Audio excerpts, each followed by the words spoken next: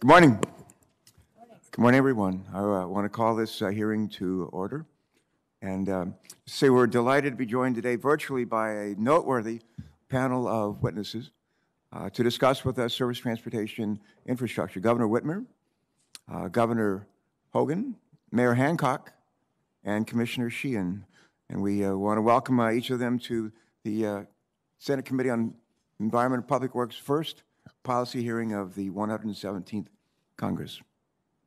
Here in Washington today, um, as I walked up from the uh, train station, Union Station to the Capitol, couldn't help but notice that the sun has come out. Here, the weather forecast 60 degrees. Thank you, God. After a winter of brutal uh, weather, a week of brutal winter storms. But despite the fact that the sun and the blue skies have greeted us this morning, our country still faces, faces uh, some major, major uh, hurdles, as we all know. While our economy is starting to show, show signs of life, close to 15 million uh, people in the United States remain unemployed, and roughly half of them have given up looking for a job. Across Texas, families are struggling to recover, as we know, from a catastrophic ice storm with over 8 million people, 8 million people still without safe drinking water, the latest tragedy and increasingly frequent uh, extreme weather and climate events of recent years. This comes on the heels of last week's, uh, last year's raging wildfires in California and Colorado, the size of my state. Hurricane force winds in Iowa that flattened a third of this, that state's crops last year. And uh, get this, this is what uh, Bill, uh, rather for John Neely uh, Kennedy told me yesterday. He said, um, uh, every, every 100 minutes, Louisiana loses a football field of land to rising sea levels. Every 100 minutes. If that happened in Delaware, we'd be gone in about a year. You know, but, uh, but they're disappearing in Louisiana as well. But scientists tell us that if climate change is left unchecked, these disasters are not going to get better, they're going to just get uh, worse. A raging pandemic is, so here's what we face, a raging pandemic, millions of jobless Americans, a growing climate crisis that demands bold action. The question is, what do we do about it? What do we do about it? Well, some good news, and that is, as it turns out, smart investments in our transportation infrastructure will enable us to tackle all three of these challenges. We can improve the conditions of our roads, highways, bridges in ways that create millions of good paying jobs, lift up our communities, build a more sustainable economy, and improve our air quality for a healthier, more prosperous future for all of us. The American uh, people are counting on us to make this happen. They don't want to hear us talking about what needs to be done. They want us to work together and get it done. As we gather today, less than half of our federal aid highways and bridges are in good condition. Much of our infrastructure is significantly outdated. It was built for different ranges of temperatures, rainfall, and sea levels. In the last 10 years, we've put nearly $19 billion in emergency funds in addition to what we were already providing from the Highway Trust Fund. Poor road conditions and design flaws create safety challenges too. Motor vehicle crashes are one of the top causes of unintentional lethal injuries in the United States. Pedestrians and bicyclists face particularly grave challenges as roads are too often designed without a safe place to bike or even cross the street. In the last decade, we've seen a 44% increase in pedestrian fatalities on our roads. Think about that 44% increase in just one decade. And the burdens of poor road conditions are disproportionately shouldered by marginalized communities. Low income families and peoples of color are frequently left behind or left out by investments in infrastructure, blocking their access to jobs and educational opportunities. So there's a clear need for, modern, for modernized transportation infrastructure that is safer and more sustainable while better ensuring that we treat other people the way we want to be treated. Fortunately, our, commitment, our committee has a roadmap that will enable us to meet these needs and more. Last Congress, as many will recall, our committee unanimously reported a bipartisan reauthorization bill that outlined an historic investment in our nation's surface transportation programs. Unfortunately, the full Senate never acted on it, never acted on it. But now we have an opportunity to build on that promise and actually enact a bill that transforms our transportation sector into one that is more innovative, more resilient, and safer while creating good paying jobs, lots of them. Now, let me briefly touch on some of the key policy priorities for our next reauthorization bill that will help make that vision a reality. Auto manufacturers are preparing to greatly expand the line of electric and hydrogen fuel uh, vehicles, but too often drivers lack access to the charging and fueling stations that these vehicles require. America needs to build corridors of charging stations and hydrogen fueling stations across the country. We also have to make it easier for people to walk safely, bike, or take public transit. So driving isn't the only way to get where we need to go. We need to strengthen our infrastructure so that it can withstand the devastating effects of extreme weather and climate change, which we're witnessing, which we're witnessing with alarming frequency.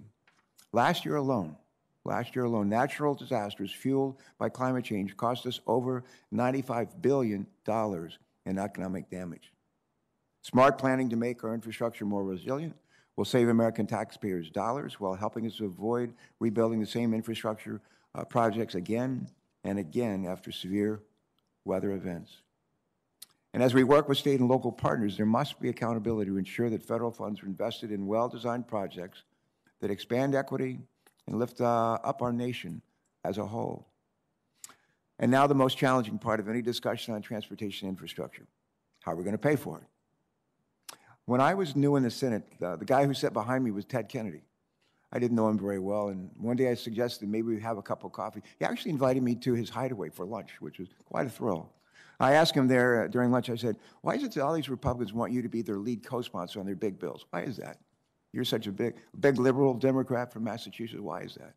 And I'll never forget what he said. He said, well, I'm always willing to compromise on policy, never willing to compromise on principle. That's what he said. Always willing to compromise on policy, never willing to compromise on principle. Well, let's talk a little bit about some of the principles I hope we ought to be able to agree on in this regard. For one, much of our transportation infrastructure is in sorry shape. Unfortunately, a lot of it's getting worse, not better. This is not something the federal government should do alone. This is an all hands on deck moment. Second principle that I think most of us can agree on is that things worth having are worth paying for.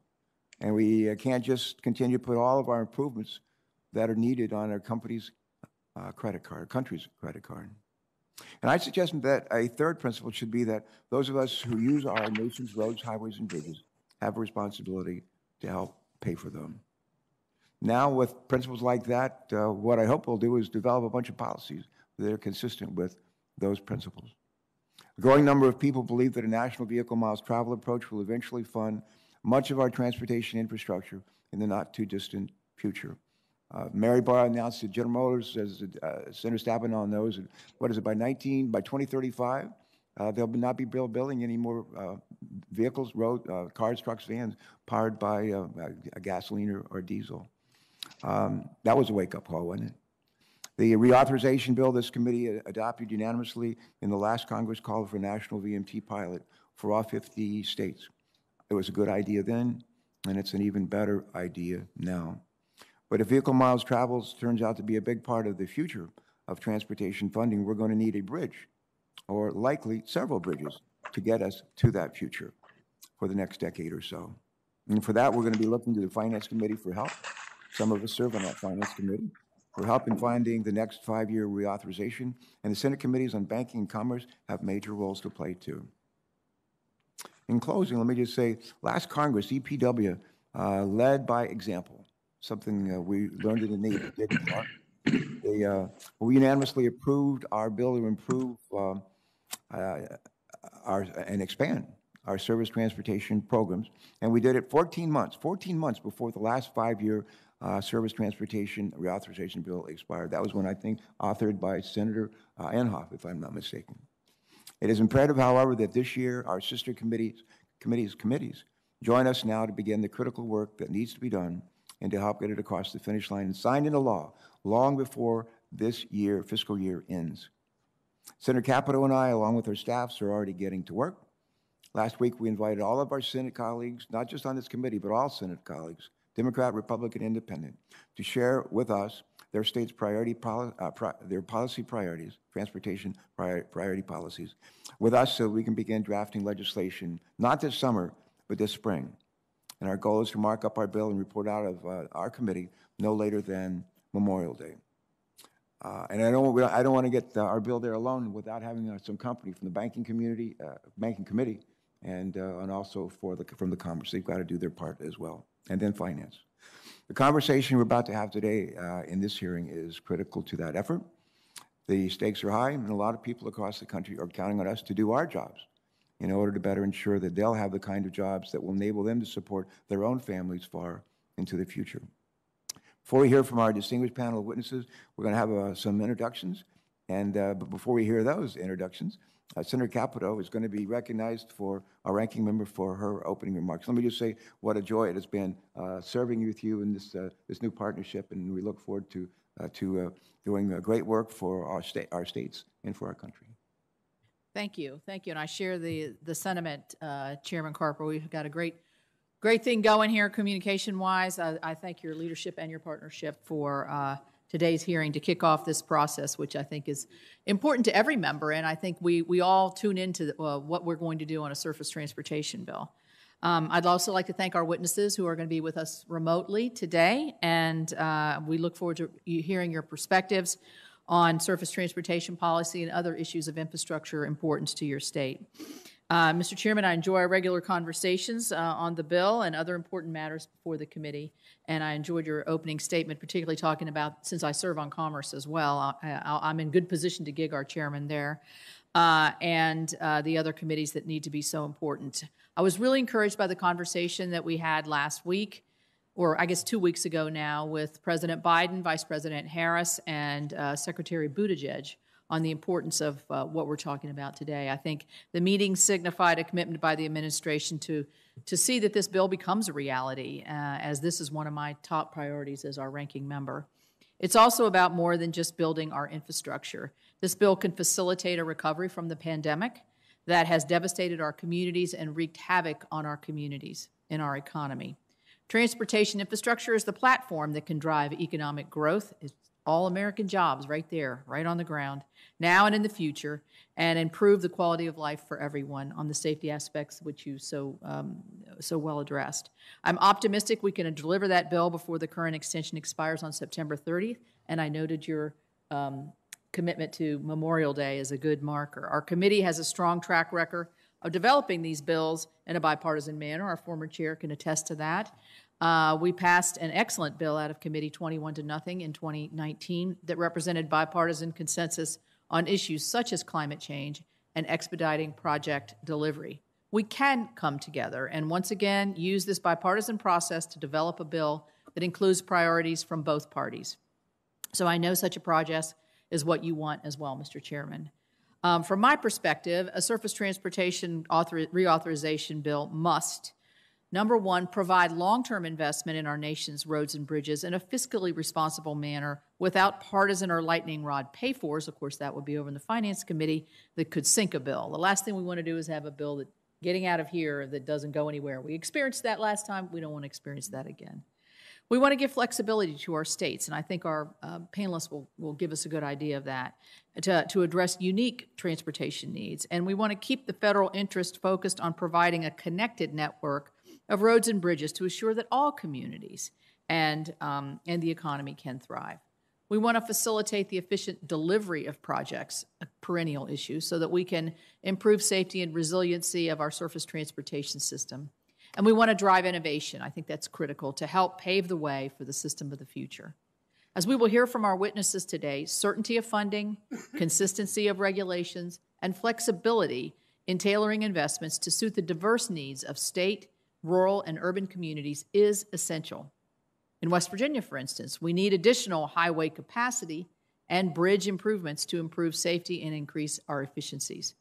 Corridor H goes through the middle of our state has one, been one of my biggest West Virginia transportation priorities. I've been working on this throughout my time in Congress. It is the best last piece of the Appalachian Development Highway System needed to better connect West Virginia for interstate and intrastate traffic. Our job is to provide a policy and programmatic framework that recognizes the different transportation needs across the country while balancing important national goals. We also need to efficiently deliver projects that improve our roads and bridges. With an average of seven years to complete an environmental impact statement for a highway project, surely everyone can agree that this process should be reviewed and improved upon. We know time is money. And it, the longer the time, the more money it costs, and the less likelihood it actually gets complete. We also know to look at other issues that can impact the delivery of projects and create a better process to move forward from uh, concept to completion. For example, removing impediments to constructing reliable high speed broadband across the country in concert with our road projects. We cannot afford to delay the benefits to states and communities that come from these projects. We should be forward leaning in tackling the transportation needs not just of today, but those needs of tomorrow. Driving innovation will be critical to supporting the surface transportation system of the future.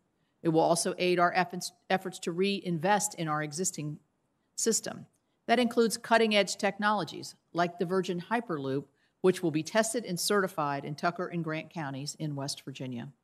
I'm committed to working on these issues that are important to my friends on the other side of the aisle, and I know they're willing to do the same. There's a lot of common ground from both of our sides. We share the same goal getting a bill across the finish line that delivers on addressing the transportation needs of our entire nation. I will add, I, I hesitate to do this because we've got a lot of good feeling going here, but to temper my op, op, uh, The lady- op- the ladies. wait a uh, should I oh, stop now? Time's expired. No, go ahead. I temper my optimism with a, with a word of caution, uh, particularly when I read this morning the words from the, the, the budget chair in the Senate on the direction this bill may go. The strong bipartisan support that exists for a surface transportation reauthorization bill and other infrastructure, infrastructure legislation should not extend to a multi trillion dollar package that is stocked full with other ideologically driven, one size fits all policies that ties the hands of our states and our communities. I look forward to being a partner in advancing uh, infrastructure legislation in a bipartisan way. Thank you very much, and I look forward to hearing the testimony. Thank you. Senator Capito, thank you uh, very much for all of your statement. All of it. I, uh, before we uh, turn to our witnesses to hear from them, we're, I think we're fortunate to have a, a panel of uh, public officials who have all wrestled with the challenges of transportation at the state and local levels. I'm privileged to know several of them, but not all of them.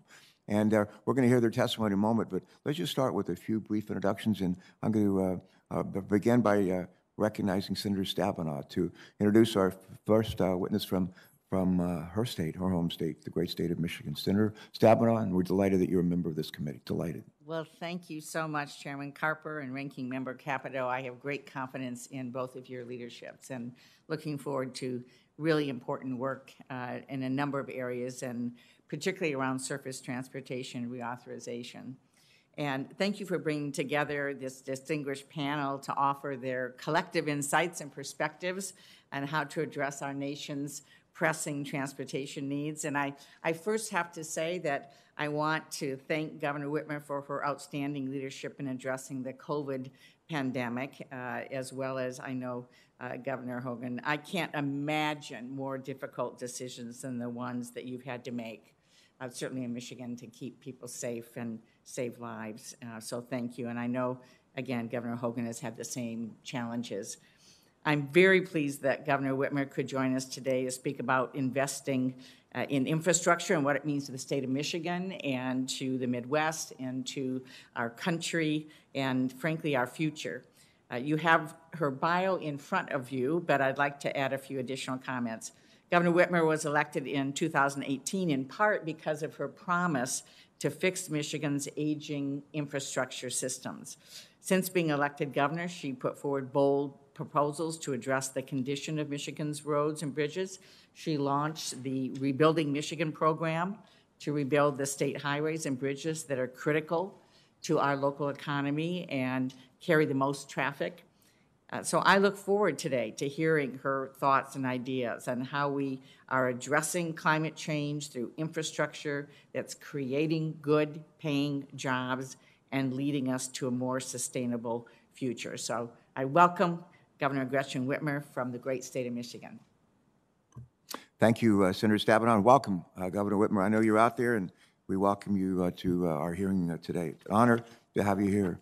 Let me uh, now recognize uh, our friend uh, Senator Ben Cardin for another special introduction of our neighboring uh, neighboring state's governor, uh, Governor Hogan. And uh, Ben, please proceed.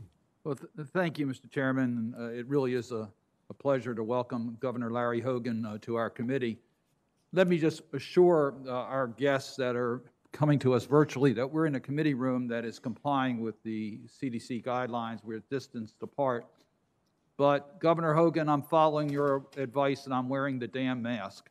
For for those of you who have seen the commercial that he's used, it's been, I think, very effective.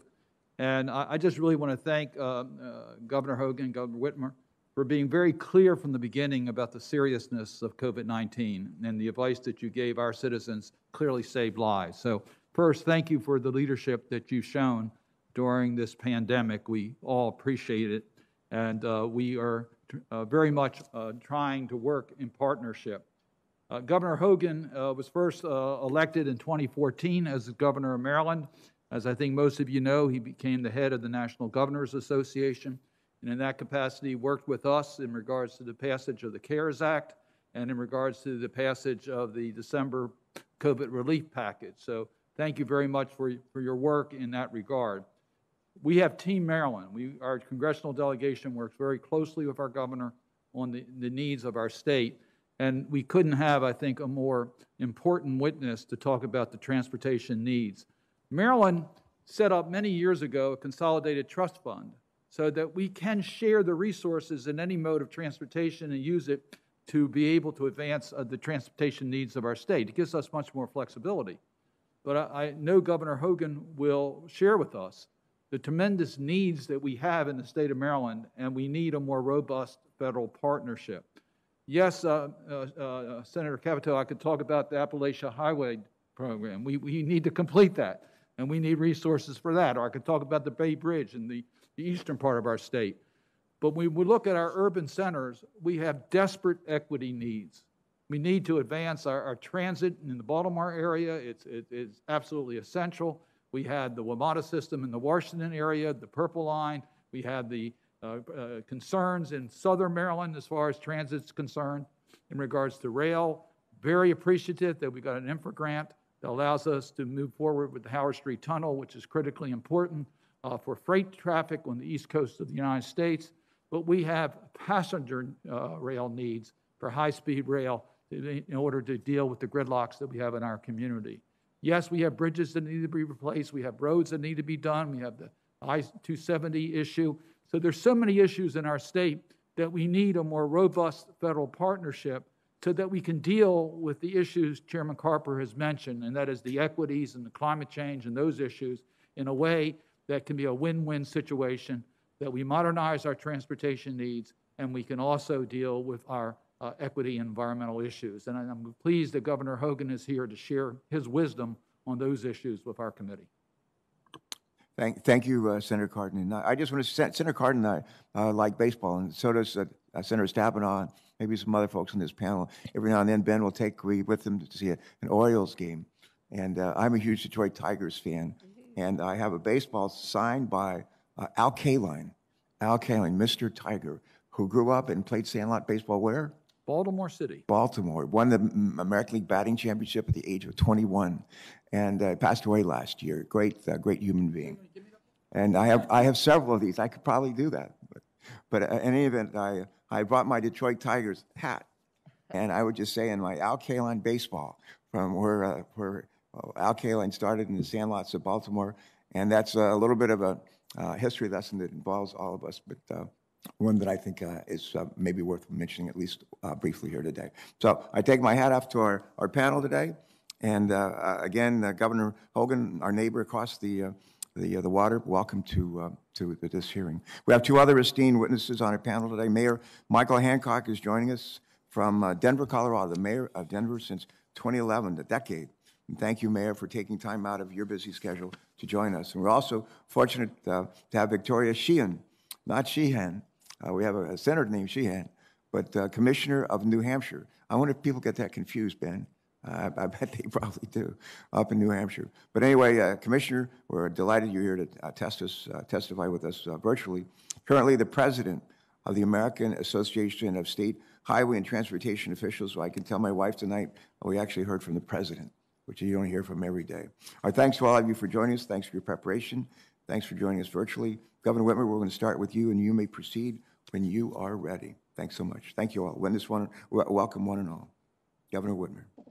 Thank you, Mr. Chairman, and go Tigers. I'm glad to be with you and Ranking Member Capito and members of the committee. Thank you for inviting me to testify before your first hearing of the 117th Congress.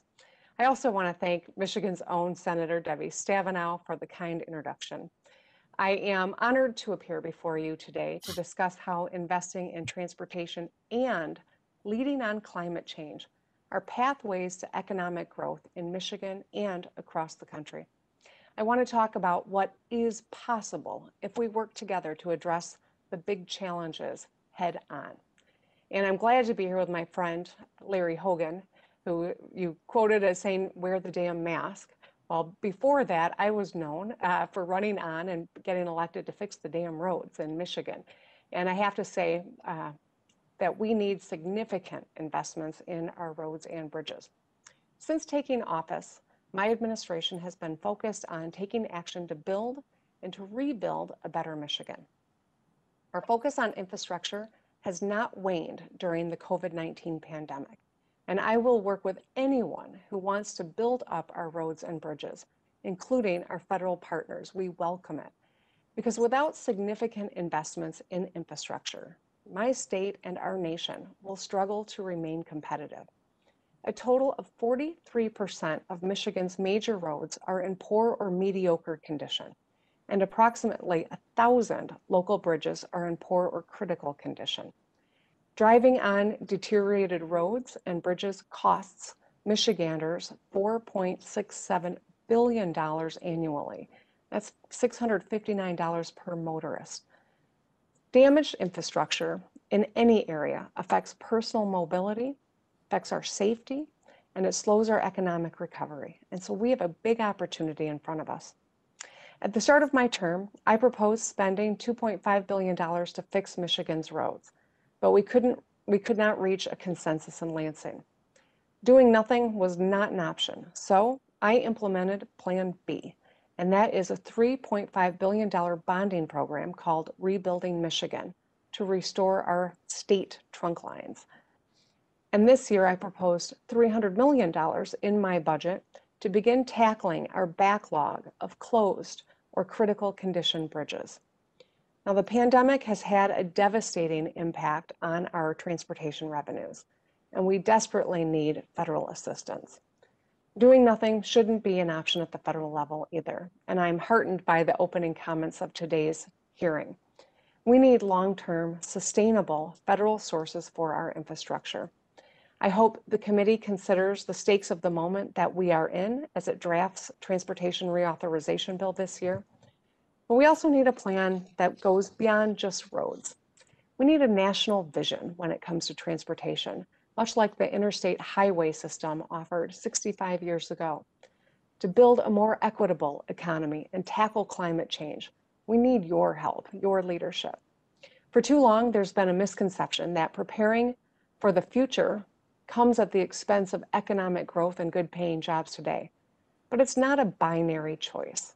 It's not an either or, it's really a both and. The health of our economy is inextricably linked to the health of our people and our planet. Whether it's a global pandemic or natural disasters caused by climate change, we've seen firsthand how failing to invest in environmental protection and public health can devastate our country. And in industrial states like Michigan, we've lost jobs to automation and modernization. In the past, big changes created winners and losers, and the government didn't get involved until after the fact. This time, we've got to put workers and communities first and ensure that people who are threatened by change are able to benefit from it. Electrification will create jobs, and Michigan is leading in this space. Since I was sworn in in 2019, we've announced over 11,400 new auto jobs and more on the way. We've committed to being carbon neutral by 2050 a goal that is aggressive and means that we're going to have to work together to achieve it. We've got incredible assets like the American Center for Mobility and a 40 mile driverless lane from Detroit to Ann Arbor that Senator Stabenow was a part of announcing. There are great jobs that can be created by new mobility technologies as well, but it's going to require a new set of skills, and that's something where I think we can partner as well. Michigan has earned several names or expressions over the years. We're the state that put the world on wheels, the birthplace of Motown, the arsenal of democracy during World War II. In the next century, Michigan is going to be the arsenal of ideas and innovation. At the national level, we have to invest in resilient infrastructure, emerging industries, and transportation. We need policies that will uplift communities that disproportionately impacted by the transition, address environmental justice, and tackle climate change. We can't shrink away from the crises that we face. We've got to go big and be bold. So let's get to work. I thank you so much for having me today, and I'm really looking forward to your questions and, of course, hearing from my fellow witnesses. Glad to be with you. Uh, Governor Whitmer, thanks for your uh, testimony. Senator um, Barrasso, who used to sit right uh, right here, where actually used to sit right here as a chairman until uh, very very recently, and uh, but uh, he and I love music, and every now and then we uh, have quips about uh, music. And I'm trying to think of a Motown song that might be appropriate for uh, for us as we sort of like get ready to get started. And I, would, I don't know if it was the Temps or the Four Tops, but get your motor running, head out on the highway. Or get ready, here we come. One of those two probably works. So get ready, here we come. All right, thanks, Governor, and um, thank you also for for sending us uh, Gary Peters and, and Debbie Stabenow, two of our best. Um, all right. Again, uh, Governor Hogan, thanks uh, for joining us this morning, and you may proceed with your testimony. Thanks. Thanks, Governor. Well, good morning, uh, Chairman Carper, uh, Ranking Member Capito, uh, my team Maryland member, Senator Cardin, thank you, and uh, welcome me- members of the committee. Thanks for having me. It's also really good to be with my colleague and friend, Governor Whitmer, this morning. As chairman of the National Governors Association, uh, pre-COVID, uh, I launched a, a national infrastructure initiative, which was focused on repairing and modernizing America's infrastructure in ways that will drive long-term economic growth while addressing short-term recovery needs, and uh, that would encourage innovation and efficient approaches to delivering projects that build the transportation networks of the future.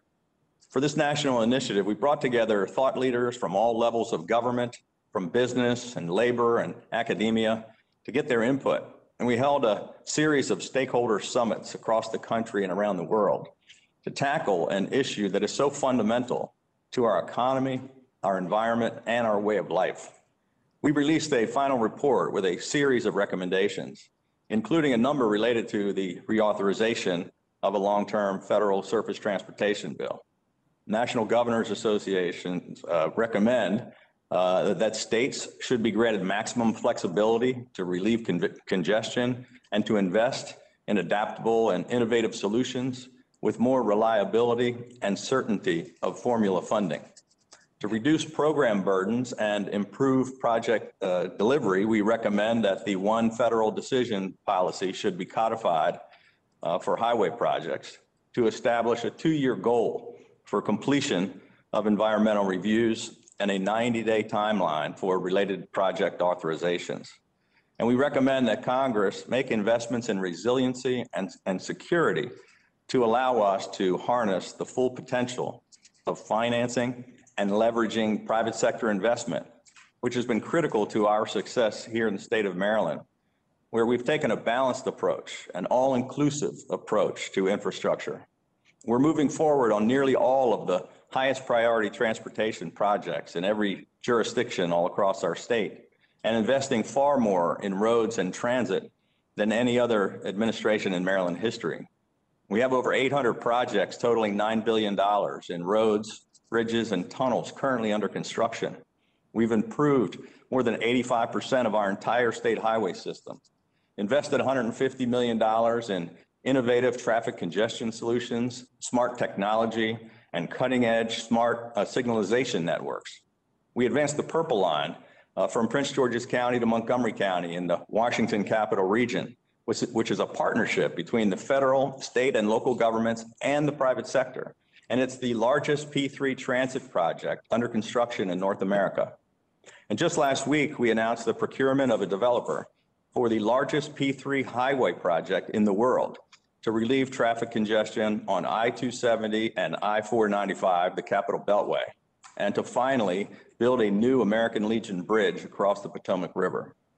My fellow governors all across America have similar success stories to share. In states throughout the nation, they're upgrading roads, bridges, and mass transit. They're improving airports and ports, fixing aging water systems, and expanding rural and urban broadband. Investing in infrastructure is more important than ever as we work to bring the pandemic to an end and to get more people back to work and to build a sustainable economic recovery. As I said recently to President Biden when I was with him in the Oval Office, the governors urged that any major infrastructure effort be bipartisan. Democrats and Republicans, business and labor leaders, all of us believe that infrastructure should be a top national priority. And governors on both sides of the aisle have shown that there are more than enough uh, good common sense ideas where we can find bipartisan support. And we stand ready to work with you in this effort. Uh, together, we can rebuild America's infrastructure so that it will once again serve as an example for the rest of the world. And we hope that this hearing will serve as a springboard for real progress. And I want to thank you, Mr. Chairman, and the members of the committee for giving me the opportunity to be here with you today. Governor Hogan, thanks, uh, thanks so much. Uh, thank you for your leadership of the, the, uh, the National Governors Association. Uh, as a former governor, former NGA chair myself, we value very much the, uh, the NGA and uh, look forward to partnering with, uh, with the NGA. You could probably be, uh, play a key role in that, and, and we, uh, we look forward to that. Um, Thank you, next, Mr. you you bet. Uh, Next, uh, I want to say, uh, I think our next, uh, on the, uh, can- can continue with the baseball theme, on the on-deck circle uh, is uh, Mayor Hancock from, uh, from uh, Denver. And uh, it's one of the positions I always thought it'd be fun to have, but uh, maybe yes, maybe no, we'll see.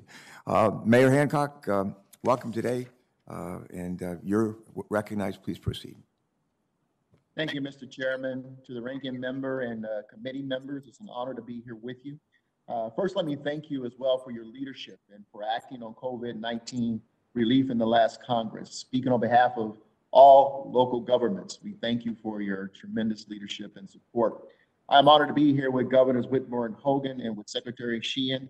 Um, And now, as we address the new Congress, um, the first thing I want to share is that we hope and encourage you to act on the American Rescue Plan uh, to deliver much-needed fiscal relief to cities and counties across this country. Uh, We have been, we've been the first responders to this pandemic, uh, our first line of defense for the majority of our citizens in this great country. Uh, But we need your continued help and support, and we thank you for what you've done in the past, and we're encouraged by what we hope you will do in the future. Mr. Chairman, let me recognize your personal efforts on our behalf as well. It's not been lost on us that you have advocated uh, for direct funding to cities and and counties uh, throughout this effort, and we are greatly appreciative of your efforts. As a former governor, you know all about state and local finance, and we thank you for talking to your colleagues about the challenges we face. And now as we look to build back better, it is about reviving our economy at every level and doing in ways that confront the key challenges before us. Mr. Chairman, you mentioned just recently, recently in this uh, hearing about what Motown song might be appropriate for this moment. And I, it got me to thinking, as a music uh, fan myself, that the song Ain't No Mountain High Enough by Marvin Gaye and Tammy Terrell might be appropriate for this theme of building back better. Local governments have recognized there ain't no mountain too high for us, for our residents, to make sure that their quality of life is sustained and that we provide safe passage on our roadways. By investing in transportation and other infrastructure, we recognize it's the cornerstone of that effort. Let me speak to the surface transportation specifically, uh, because FAST Act authorization is before you uh, this year. The structure of the FAST Act is sound. It is built on the foundation of the ISTEAs or ISTEA that this committee set 30 years ago. And the law can be adapted to confront the challenges we are discussing today. Climate, equity, economic recovery, and innovation. And it can advance recovery uh, in local areas where people and small businesses have been most harmed by this pandemic. My written testimony addresses these challenges in more detail, but I want to share this message with you all today. We ask you to rely on your local leaders, invest in us. Again, there's been no mountain too high for us as we work to address the challenges facing our citizens. We ask you to lean on us, to challenge us, to lead us out of this pandemic and help recover our economy. And my rec- recommendation is simply this, and I recognize this is a pebble in the pond that's going to send a ripple effect and might be contrary to what some of the previous testimony has been. But we believe that one, you need to use the Surface Transportation Block Grant to accomplish this. Two, we ask you to direct all these flexible resource- resources to local areas, to metro areas like Denver, and to smaller areas working through the states. This expanded commitment means using local leaders to address key priorities in areas where most people live and work. And by investing more in metropolitan areas, cities and counties, where most of our economic output is generated. Today, I offer this division of labor. Keep states focused on intercity and interstate corridors with resources from the National Highway Performance Program.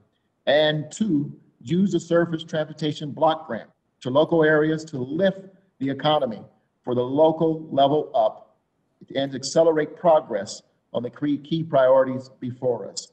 Increasing STBG funds to local areas, we believe, is the best way to deal with conditions on the ground during the pandemic and after. It is also the best way to move the needle on key priorities before us and put us on the track for transitioning for rescue from rescue to recovery. It's efficient. It means we can address equity and climate much more uh, prudently on the local local level. Mr. Chairman, this is a seminal moment for federal transportation policy and for broad infrastructure policy. Mayors will be prepared to support this committee as we learn more about the direction you take on a broader infrastructure recovery package. Mayors and other local leaders are ready, willing, and more than capable of delivering for the future. Thank you for this opportunity to join you today, and we look forward to the testimony and your Q&A section.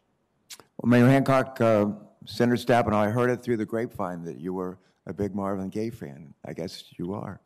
Um, the uh, mayors uh, are going to play a big, uh, big, a big role uh, on this legislation as we go forward, and uh, we welcome your participation, but also mayors across uh, the uh, across the country, just as we welcome the involvement of our our, governors.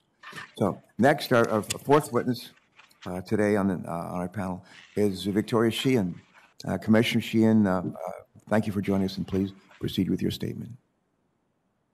Well, good morning, Chairman Carper, Ranking Member Capito, and members of the committee.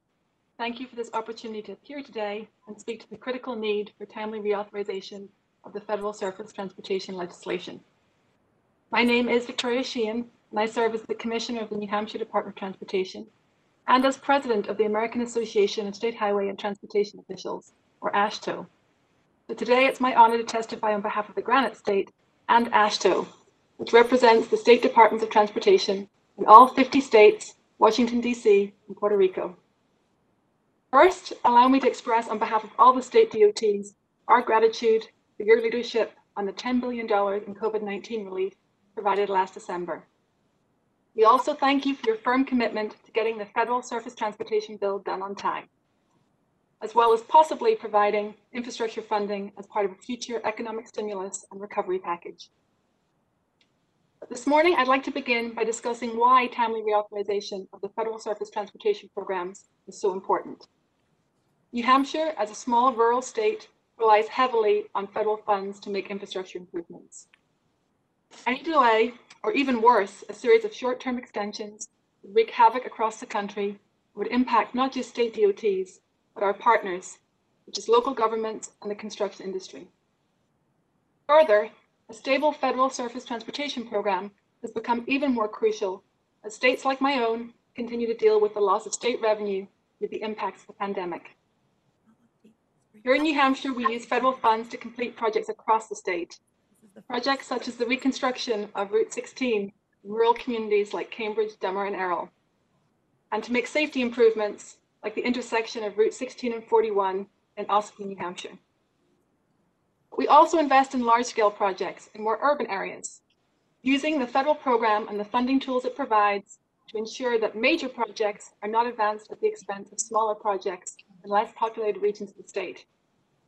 As an example, to complete the reconstruction of Interstate 93 from Salem to Manchester, New Hampshire secured a TIFIA loan. This loan has allowed the Granite State to pledge state revenues to rural paving and bridge work and stretch the value of a state gas tax increase that otherwise would have funded only this one large-scale project.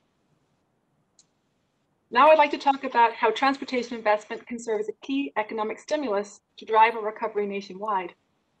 A well-performing transportation network allows American families to benefit, both as consumers from lower priced goods and as workers by gaining better access to employment. It also allows businesses to manage inventories and move goods more affordably while ensuring employees can reliably get to and from work. As Congress considers providing additional financial support to stimulate the economy and to recover from the effects of the COVID 19 pandemic, AASHTO asks you to provide funding through existing highway and transit formulas, as they provide funding in the quickest, most efficient manner, understood by our state DOTs, and provide funding to every state and locality. It's also important that Congress not attach unrealistic timelines to the obligation of economic recovery funding nor should such funding come with additional federal requirements that delay obligation expenditure of funds. Lastly, as you consider surface reauthorization policies, AASHTO strongly supported the bipartisan process this committee used in the last Congress to develop the America's Surface Transportation Infrastructure Act. Based on that foundation of partnership, we believe the next bill's core policy principles should look at the following. First and foremost, like I said earlier, timely reauthorization of the long-term bill. A long-term sustainable revenue solution to the Highway Trust Fund. Increased and prioritized formula-based funding to states. Increased flexibility, reduced program burdens, and improved project delivery. And support and ensure state DOTs are able to harness innovation and technology. Meanwhile, our state DOTs will continue addressing ongoing and emerging policy issues such as performance and asset management, infrastructure resiliency, equity, carbon reduction, as well as broadband and other technology deployment in our highway right of way. To conclude, this week, hundreds of state DOT leaders from all corners are gathering virtually at AASHTO's 2021 Washington briefing. While we won't be able to visit with you in person like we normally do, AASHTO and the state DOTs will continue advocating for a strong federal state partnership to address our surface transportation investment needs. Thank you again for the honor of being here today and the opportunity to testify, and I'm happy to answer any questions. Commissioner Sheehan, thank you uh, very much for your testimony and to, uh, to all of our witnesses today. Uh, it's uh, hard to think of a better panel to begin the consideration of our surface transportation bill than, uh, than, this, uh, than this panel. I want to start off, if I, I can, let me just mention so far the, the, the num, the, I'm going to run through quickly the, the names of those who have either shown up in person or, or virtually. But in, in, this order, myself, followed by Senator Capito, Senator Cardin, Senator Inhofe, uh, Senator Sanders, Senator Cramer, Senator Whitehouse, Senator Lummis, Senator Stabenow, Senator Kelly, and Senator Padilla. All right, that's, that's, about nine people, too. All right. Um, let me just start off with a, a quick question of uh, Senator, uh, or rather of uh, Governor Hogan. Governor Hogan, there's a, as you know, the Northeast Corridor runs uh, from uh, down in uh, by rail to down around Washington D.C. all the way up to Boston, and there's a, a stretch between Aberdeen, Maryland, and Newark, Delaware, uh, where it goes from three uh, rails to two, and uh, there's been talk for for a long time about adding a, a third rail between uh, Aberdeen and uh, Newark, uh, Delaware, that is probably about six or seven miles. And is this a project that you've ever heard discussed in Maryland? Is this something that people of Maryland might be willing to to to collaborate with Delaware and the U.S. DOT on? Senator, I know that our, our Department of uh, Transportation has had discussions, and uh, we certainly uh, look forward to uh, continuing to talk with you about that possibility. I think uh, those bottlenecks where we've gone through this uh, in, in Maryland, we just, we're moving forward on the Howard Street Tunnel where we moved from into, we could only do single stack trains. And it was a real bottleneck, I think, a similar way. And if you've got uh, you know multiple lanes, go, multiple tracks going into fewer number of tracks, it causes congestion. Uh, we think it's uh, it's probably something that uh, we'd love to work with you on. All right, thanks, uh, thanks so much. Question, if I could, for Governor Whitmer. Governor, reducing transportation emi- emissions is a top priority for reauthorization, and the good news is that the world is moving toward zero-emission uh, vehicles. A decade ago, the number of electric vehicles on the roads in the United States could be counted in the hundreds.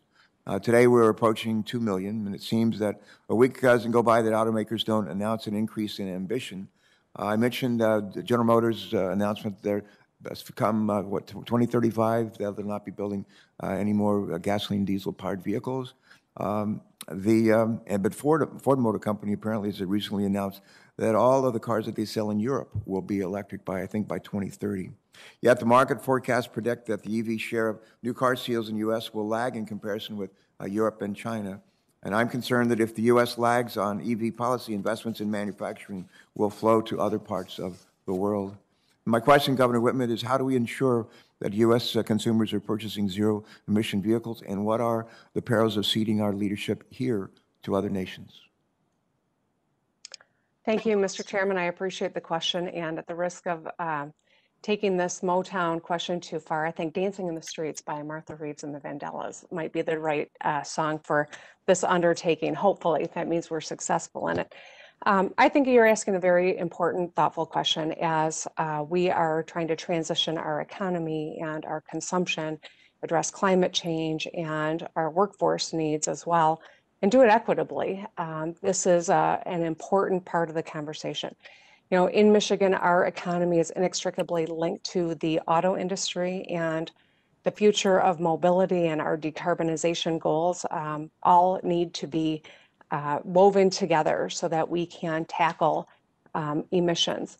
And we've got to invest in um, and push for bold electric vehicle policy as a pathway to economic opportunity for our country and a way to address climate change. These are are linked. They you can't pull them apart. It's not if or it is both and. Um, we're heavily focused on uh, building a statewide connected charging network in Michigan.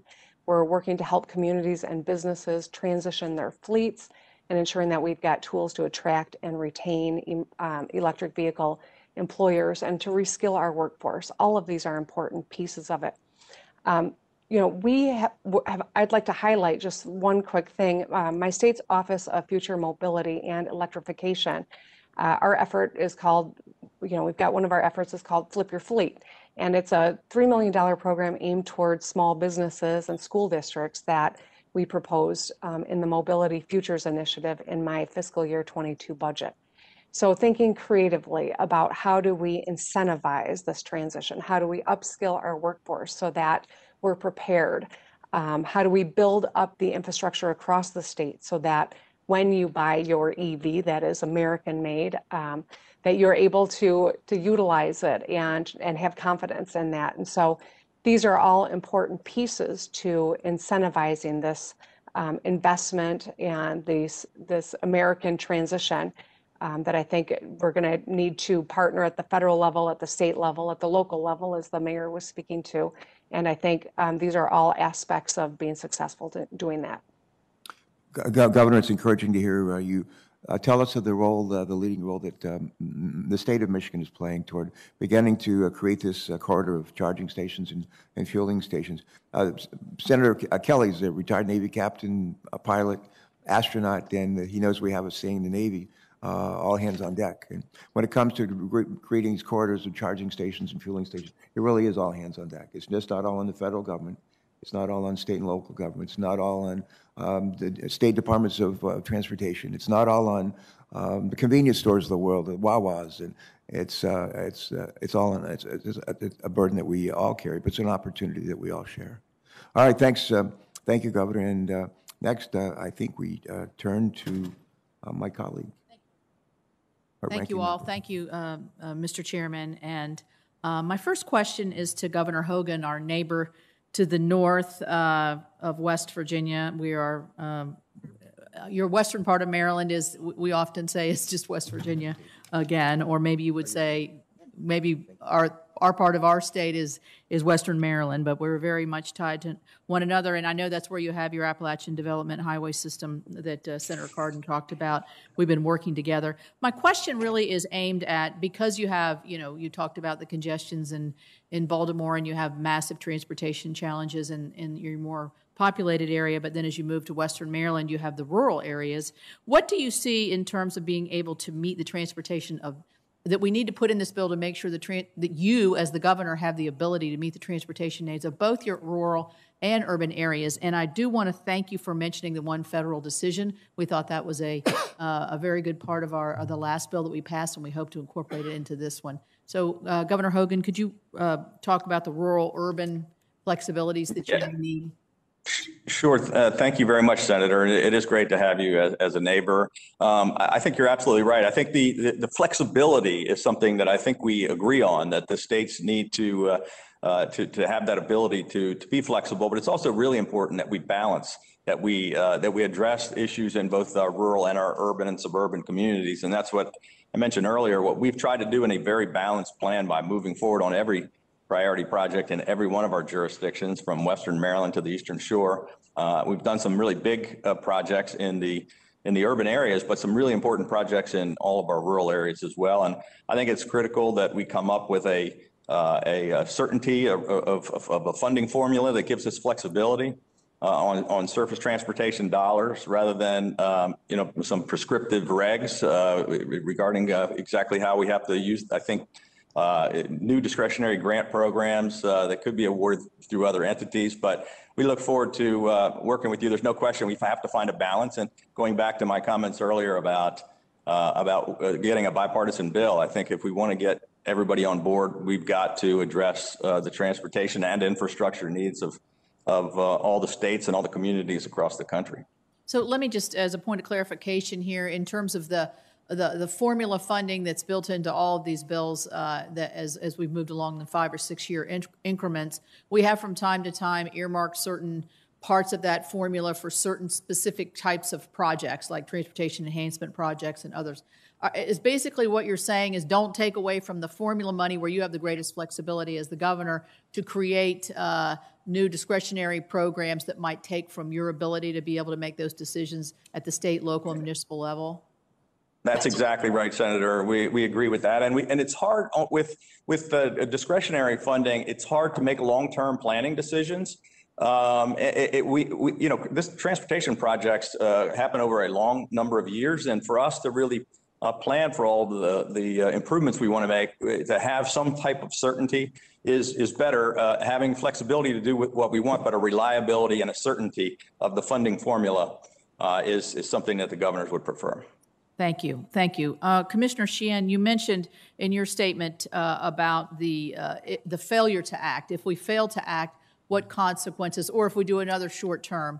Could you expound on that a little bit, on uh, our failure to, to get to a, a lengthy bill, a very robust lengthy bill, as opposed to uh, kicking the can down the road for another year? What impacts that has on you as a state commissioner and as all states?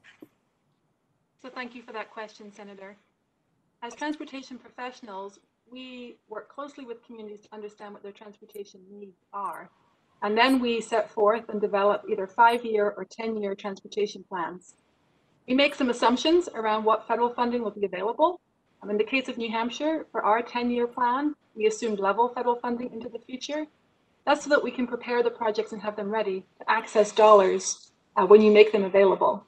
So any interruption in the federal program means that we lose an entire construction season potentially if we're dealing with short-term extensions and having to really meter the projects that we advertise and move into construction.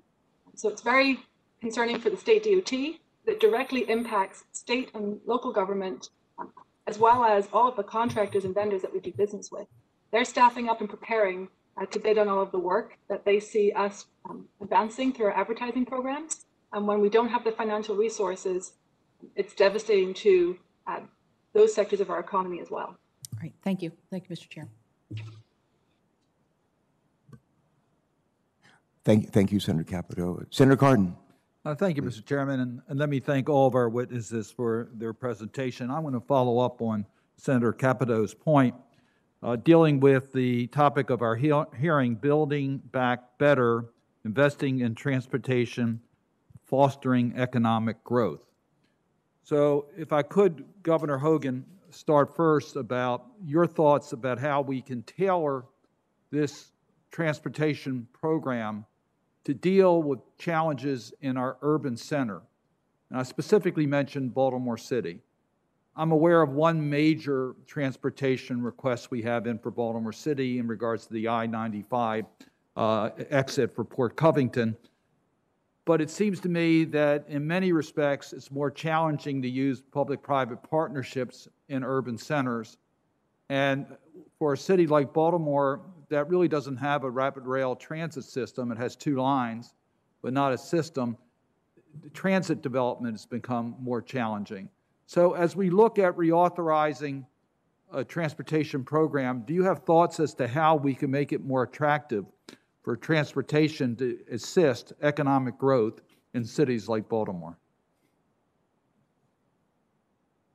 Thank you, Senator. Um, yeah, I, I, do think that we have to uh, focus on on uh, looking at every mode of transportation. Uh, I'm a big believer in a balanced transportation system that uh, it, it, we've invested $14 billion in transit in both the Baltimore and the Washington uh, region, and we, we redid the uh, the entire bus system in Baltimore, hundreds of millions of dollars. We run the transportation system for Baltimore City. Um, there's no question that uh, you know I mentioned earlier that we did a P3 uh, on the Purple Line in the Washington suburbs. You, you, you could do the same thing in Baltimore. The, the, the previous plan was just one line that didn't really provide any kind of a system.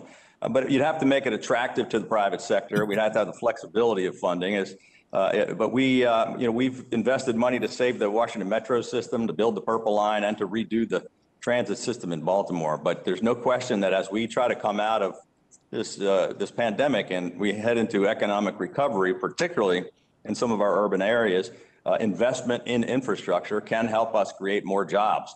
Uh, just on the uh, on the road project in uh, metropolitan Washington on the Capitol Beltway and uh, fixing the the bridge, that's going to provide 11,000 jobs for every billion dollars invested in that project, and it's going to be about a 10 billion dollar project. So there's no question that this is going to be a, a big part of our economic recovery, and it's why uh, we've got a number of uh, labor uh, groups that are just as excited as some of the business entities and the state and local governments.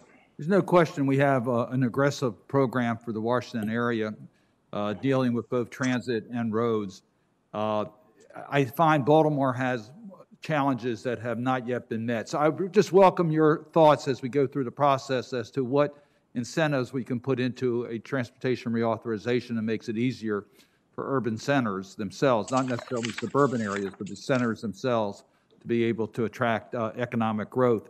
Mayor Hancock, I'd like to ask you a question and following up on Senator Capito. I'm the author of the Transportation Alternative Programs that gives flexibility on the use of transportation funds for local government units so that they can deal with their needs and have some ability to deal with uh, uh, uh, bike paths, uh, uh, bike safety, tourism type transportation needs, etc. Can you just tell me uh, how important is it for a mayor of a major city to have some flexibility on the use of transportation money coming from the federal government and not have to solely rely upon the allocation uh, in partnership with the state?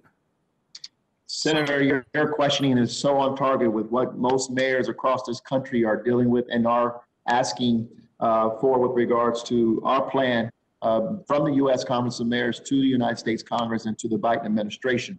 Local governments have the ability to be much more nimble with uh, their ability to address the challenges facing uh, their residents. Here's the reality 80% of all the roads that, that uh, we as citizens travel on are sitting in front of our homes. They're sitting in front of our small businesses. It's the roads that we use to get to work every day. Um, and, and, and, yet we are only seeing a, a, small portion of the resources that are coming to our states, to particularly our metro uh, urban centers. You mentioned Baltimore. Denver is not much different, as well as the other large metropolitan areas in the state of Colorado, uh, namely down south of Colorado Springs and here in the metro Denver area we could take those resources and create the multimodal roads that we feel we need to do and, and address the issues around equity, again, climate change that we have put forth as priorities. If we had greater flexibility and more resources directed to city governments, uh, I think you'll see us move much more efficiently to address the overwhelming infrastructure challenges that face, again, uh, 80% of the roads that uh, our people are traveling on every day. And let me just mention this. Post-pandemic is going to mean that we're going to have a different culture, work culture in this country. Um, we believe that most people are going to have a rotational basis of working remotely and then in person. Um, you're going to see small businesses who have been disproportionately harmed working to try to come back and recover as quickly as possible. I think the faster and more efficient way for us to address the roads will help everybody get to a better uh, state of recovery in the next economy. And that's going to be critically important. We won't have time, as uh, ranking member talked about, bogging down municipalities in bureaucracy and, and, and having the, this, um, this um, intermediary of the state again playing a role. Although the state is, and I'm going to say, the states have been great partners, but we can move much more efficiently and be more nimble and accountable in moving forward with these road improvements that we have to have, being more multimodal, and again, addressing the issues of climate equity and, and improvement uh, on a much more uh, fast track basis. Thank you very much. Thank you, Mayor, and uh, thank you, Senator uh, Cardin. Uh, Now, a Mayor, uh, another former mayor, and a uh, mayor of Tulsa, if I'm not mistaken, who's uh, led right. this committee, led the Armed Services Committee, and uh, knows a thing or two, having authored a major legislation for years on t- transportation. But It's been a joy working with a lot of the people who've been leaving right now and the rest of us here. This is really what we're supposed to be doing. The two most important things are defending America and infrastructure. At least that's what the, um, what I've always believed. Uh, Real quickly, I have a couple of uh, UCs I want to propose at this time. One would be, I have, uh, I wrote an uh, op-ed piece in the Washington Times this morning having to do with the uh, bipartisan necessity that we're going to be dealing with right now to have a successful bill, and I ask unanimous consent that be made a part of the record. Uh, Without objection. And I have a second one. It's a letter submitted by the National Association of Truck, uh, Truck Stop Operators uh, stressing the, the urgency for senators to protect the ban on commercializing interstate rest areas. It's kind of the old-fashioned idea that the public, private sector does things better than the public sector does. I would ask you to consent that. I'm going to have to object to that one. And the, uh, Without objection. all right. Uh, The um, second thing, we've done some really good work on- on, on this committee. Uh, On the last Congress, we tackled something that had not been successfully addressed before, and that was on streamlining, not talking about it, but actually streamlining it. The- uh, it- We, we had a committee report, a bipartisan highway bill with the needed streamlining provisions, including uh, codifying the one federal decision process. And uh, Governor Ho- Hogan, you come from a perspective of not just your own personal experience, but also chairing the uh, National Governors Association. And there are people talking about now, some people not on this committee, but uh, individuals saying, well, we've already done the streamlining. We did that last year, and we don't need to do any more. And so I'd like to ask you, uh, how do you respond to that? And how do project delivery delays affect the investments that are made by the states and the federal government? Governor Hogan. Thank you very much, Senator. Uh, First of all, let me, uh, let me again agree with you the- on the importance for, uh, for reaching a a bipartisan solution to this. I think it is, if we can't reach a bipartisan solution on something like infrastructure where that everybody agrees is a priority, then it's going to be difficult to do that on anything else. But um, you're, you're right. Enhancing efficiency and eliminating red tape, uh, making the process uh, go smoother, cutting the timeframes down uh, will, um, uh, will be very important to continue to make progress on. There was some progress made, uh, but it's, uh, it's still much too long, much too confusing of a, of a process that adds cost. It, it adds timeframes. You know, time is money. Uh, we don't get these projects moving forward. We're not solving the infrastructure needs, the transportation problems. But it's also costing taxpayers a lot more money because of the delays. And when we're dealing with private sector investment, which uh, we're doing a lot of, uh, you know, it, taking the, some of the risk uh, out of the process by having some certainty about how long it's going to happen, I think is important. Um, I mentioned earlier about uh, the one federal uh, decision pol- policy should be codified. We should establish a two-year uh, goal for completion of environmental projects and a 90-day timeline for related project authorizations. I mean, the, uh, at the beginning of the discussion, somebody was talking about the seven-year timeframe that it takes to go through the environmental process. You know, we all want to make sure that we uh, very carefully uh, en- ensure the safety of our environment and that we go through and not, not skip any steps or, uh, but we have to speed, uh, you know, do things simultaneously, concurrently, and speed the process somehow. It's going to mean a lot to doing more projects, putting more people to work, um, Okay. and, and making improvements to, Yeah, to. I, uh, I appreciate all these that very much. uh, uh, Needs. You, you brought up, and, and I think it's significant too, that we keep in mind, well, first of all, I've never seen a five-year program that can't be done in one year. And we demonstrated that real clearly, I think, in the last two bills that we had, and we're on the right road there. But also, you brought up this idea of prioritizing. I think that, um, We've done a really good job in Oklahoma. Uh, we were prioritizing prior to the last two uh, uh, uh, bills that we had. Oklahoma had been number, a lot of people don't know that they rank us in terms of uh, the conditions of our bridges. And we were number 49 in the, in the country on the condition of our bridges. And we, uh, as a result of the efforts that we did, uh, we are now number nine. We've gone all the way from 49 to number nine in the condition of our bridges. We have some 1,600 bridges in the state of Oklahoma. So I think that the important thing here, and I would ask you to respond to this also, uh, Governor, or e- both governors, um, that the significance of having the states be the movers of the priorities. You know, a lot of times, people would rather the federal government do that. So, uh, states should determine the priority of surface transportation within their boundaries. What do you think? I, I agree with you. I agree with you, Senator. Um, and we even do that at the state level. We, we get input from the local, each of the local governments on what their priorities are. And then as a state, uh, we try to take those priority uh, considerations in as we're putting together our state transportation plan. Uh, for the, by the, the same way we, we go with our uh, Senator Cardin can tell you when we meet with our federal delegation, we lay out here these are the priorities of our state. Uh, and I, you know, we're the ones on the ground that can make those decisions, get more input. Uh, and uh, you know, I think it would be uh, we obviously, you know, we we uh, we want to work together with our federal partners, but the states can help uh, prioritize. There's no question about that. We, there's a lot of need, and we can't do everything at the same time. We want to make sure that we all agree on the priorities. Well, my time has expired, but I'd like to, uh, for the record, you send something to us, Ms. Sheehan, about your workforce development thing. We've been very active on this, not just in roads and highways. We have provisions in the FAA bill on, uh, and uh, so just if you could, for the record, send us something as to what we could do, Congress, to help in that area of workforce development, okay? Thank you, Mr. Chairman. Sure. So thank you, uh, Sen- Senator Inhofe. Uh, Another former ma- mayor, not everybody thinks Senator Sanders was a former mayor, but he was mayor of uh, Burlington, he's congressman and now a senator, run for president a couple of times, and, and he's uh, in the Yondeck uh, circle, and he's joined us by WebEx uh, today. Uh, But uh, Senator Sanders, you're recognized if, if, if you're able to join us. Thanks very much, uh, Mr. Chairman, and thanks to all of our panelists who are with us.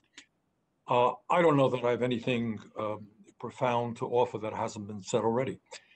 Uh, What I can tell you is that in a rural state like Vermont, we are struggling big time uh, with crumbling roads and bridges. Uh, We waste a lot of money just trying to uh, rebuild rather than maintain uh, our roads, which is just, you know, throwing good money after bad. Uh, and as everybody has said, we have the potential now as we rebuild our roads and our bridges, our water systems, our wastewater plants, our public transportation. We are behind many other countries and around the world in terms of rail. Uh, and we are also focusing on climate change, uh, the need to transform our energy system, which means, among any uh, other things, a whole lot of charging stations throughout rural America, uh, as we do all of those things, we can create millions of good paying jobs, make our economy far more efficient, uh, save lives, have safer transportation. So just, uh, Mr. Chairman, all that I wanted to say uh, is count me in. This is a problem impacting urban America, but it is also a problem impacting rural America. And I do see this uh, in a very divided uh, political climate in this country. Uh, I think we can come together at least on this issue. Uh, whether you're a Republican governor or a Democratic governor, you got problems with your infrastructure. So let's uh, go forward together, create the jobs, rebuild our infrastructure, and do the right thing for the American people. Senator Sanders, thank you very, very much for that, uh, for that message and for joining us today. Next, uh, I think uh, uh, Senator uh, Cramer, I think you're up. I have uh, to return a phone call. I'll be right back. And, and meanwhile, uh, Senator Capito, you're in charge. Oh, boy. Thank you, thank you, thank you, Mr. Chairman and, and Senator Capito. Thank both of you for your leadership on this important issue, both in the last Congress and, and uh, now in this one. Um, and thank all of the witnesses for your expert testimony and uh, your thoughtfulness today and for being with us today.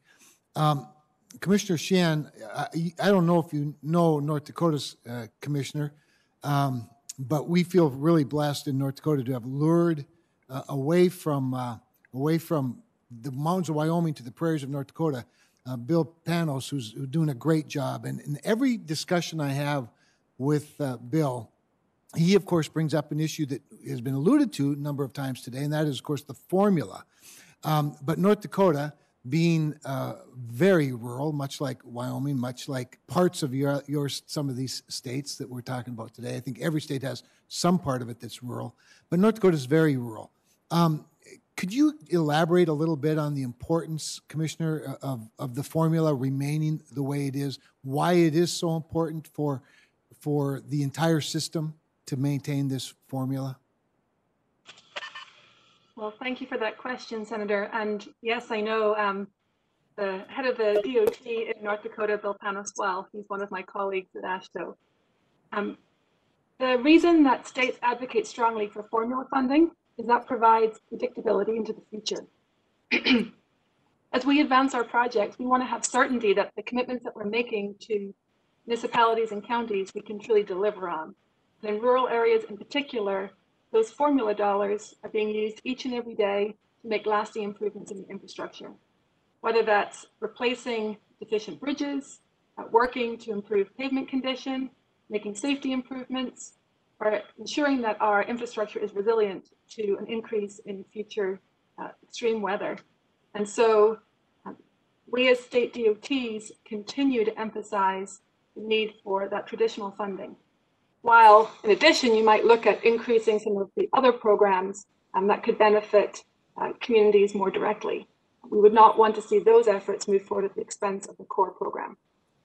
Thank you for that. So along the lines of funding, and obviously a lot of the discussion here that takes place here deals with the funding, and there's never enough to do all the things we should do. However, um, one of the things is uh, the other things, uh, Commissioner, that AASHTO has advocated for is a sustainable funding source. So th- the Highway Trust Fund, obviously being the main source um, for infrastructure development, surface transportation development, um, you've advocated for that sustainable sustainability of that, and yet Governor Whitmer is understandably and appropriately proud of the work that um, the manufacturing sector is doing in creating more electric vehicles and hybrid vehicles. And of course, the, the, um, that ambition for that type of climate response and a sustainable formula or form, um, revenue stream obviously intersect and conflict at some point. Could I ask each of you, Governor Whitmer and um, Commissioner Sheehan, to, to talk about what a future funding source would look like in terms of um, the revenue stream, please?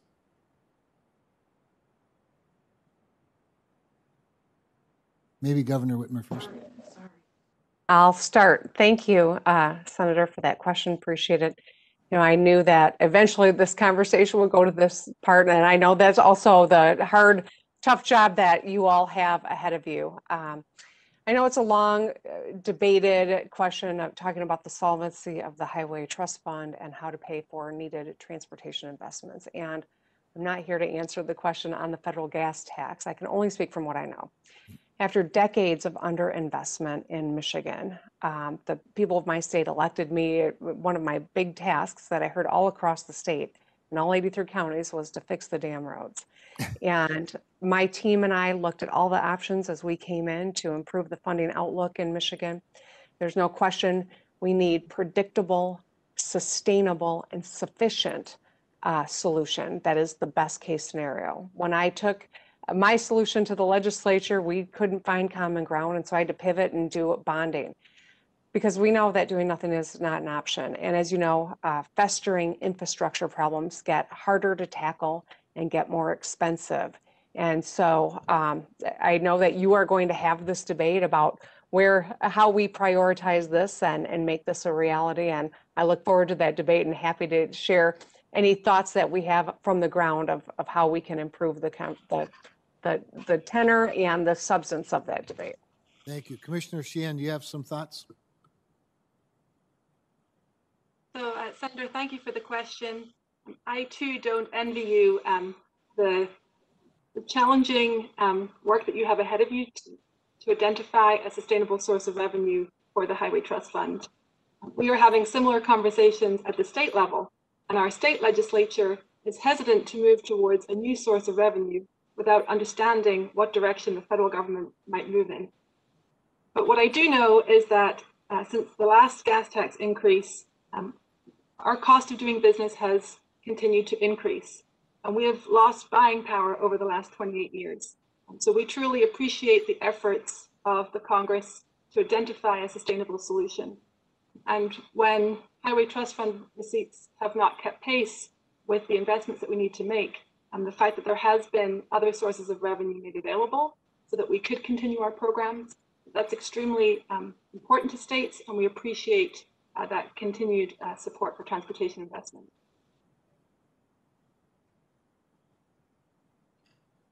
Thank you, uh, Senator Cramer. Um, Senator Whitehouse is, I think, joined us by WebEx. Uh, Sheldon, you're out there somewhere. Please join us. Uh, you're recognized. Yes, I am, and uh, thank you. I'm delighted to have this terrific panel of witnesses. I wanted to um, talk first about uh, coastal infrastructure. Um, and uh, Governor Whitmer, Michigan counts because the way we define coastal includes our uh, Great Lakes. Uh, but it's estimated that coastal communities are going to need to invest more than $400 billion in the next 20 years. And that's based on our present um, very conservative and probably inadequate estimates of the damage that climate change uh, portends through sea level rise and um, extreme weather. This is a new and very um, alarming demand for these local communities. And um, as we look around at the places for uh, support for coastal communities, we look at things, uh, particularly in this committee, like the Army Corps of Engineers Flood and Coastal Damage Reduction Fund. And what we see in the last decade is that in our best year, $19 went inland for every single dollar that went to coasts. That was our best year in the last decade. And our worst year, $120 went inland for every single dollar that went to coasts. Um, everybody's familiar with the Land and Water Conservation Fund. That has a less egregious but similar bias towards inland and upland projects over coastal projects. Uh, CoreLogic has done its 2020 storm surge report, and it estimates that over 7 million single family homes are at risk of storm surge in the US, and that the cost to rebuild those homes would exceed over exceed 1.7 trillion dollars. So we have a big coastal problem on our hands. It is a coastal problem that we are uh, ignoring. The uh, chairman comes from a state that is similar in size to Rhode Island um, and has even lower topography. So Delaware and Rhode Island share a very strong concern about uh, these issues. And uh, we were able to get into the last uh, highway bill that came out of um, our committee unanimously some very good work on coastal infrastructure. Because it's not just going to be homes that are flooded, it's also going to be infrastructure. And where the infrastructure goes, uh, you can also lose homes and access to emergency services to homes. And um, so it's, it's, a, it's a big problem. And I would like to ask uh, the governors um, to comment on what they see as the needs in their states to protect coasts. I think Maryland is more immediately affected uh, because of the oceans problem, uh, but Michigan and the Great Lakes have their own issues as well.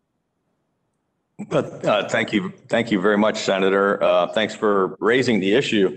Um, you know, we, we, a lot of the discussion uh, around uh, climate change is about mitigation uh, and about clean air, and not enough, uh, I think, discussion about how we mitigate some of the problems that are going to be caused by by flooding, and as you as you just uh, touched on very eloquently, the coastal flooding issue. Um, we we did touch on this, and our a lot of our focus was on transportation uh, infrastructure uh, during the NGA uh, initiative, but we did talk about resiliency uh, and uh, trying to address uh, some of these issues. And in our state, along with like Governor Whitmer said earlier, uh, you know, we've made great strides in uh, with respect to climate change. We have cleaner air standards than 49 other states. We put tax credits in for uh, electric vehicles and charging stations and taking a lot of actions on mass transit to get people off the roads. Uh, but this is one we have invested some dollars in, but it's you're right. There's been not enough funding. It's something we do have to address as you're looking at infrastructure. Uh, flood, coastal flood, not just coastal flooding, but further up upstream uh, flooding uh, is going to occur uh, as well. And as a, coast, a small coastal state adjacent to the chairman's state of Delaware, it's obviously a, an issue and a concern for us with the Chesapeake Bay, which is one of America's uh, greatest natural resources. It's an issue that we we deal with, and uh, I'll, I'll, pass it on to my colleague to, to weigh in. But the, it's and it's an important issue we have to address. Yeah, uh, thanks, Governor Hogan and, and Governor Whitehouse. Thank you so much for the the question. I think that it's really important, and I'm glad that you highlighted the coastline in Michigan. We have 3,200 miles of coastline in Michigan, all fresh water. 21% of the world's fresh water is in and around the Great Lakes. Um, so this is something that we take very seriously, and we have seen the impact of climate change. We need to address this through resilient infrastructure. Um, high water levels have eroded our shorelines and washed away roadways, and we've had devastating flooding in communities that have forced evacuations. We need to evacuate 10,000 people in Midland, Michigan. That wasn't along the Great Lakes, but it was just another example of the need for resilient uh, infrastructure because it washed out a number of dams and bridges when that 500 year flooding event happened.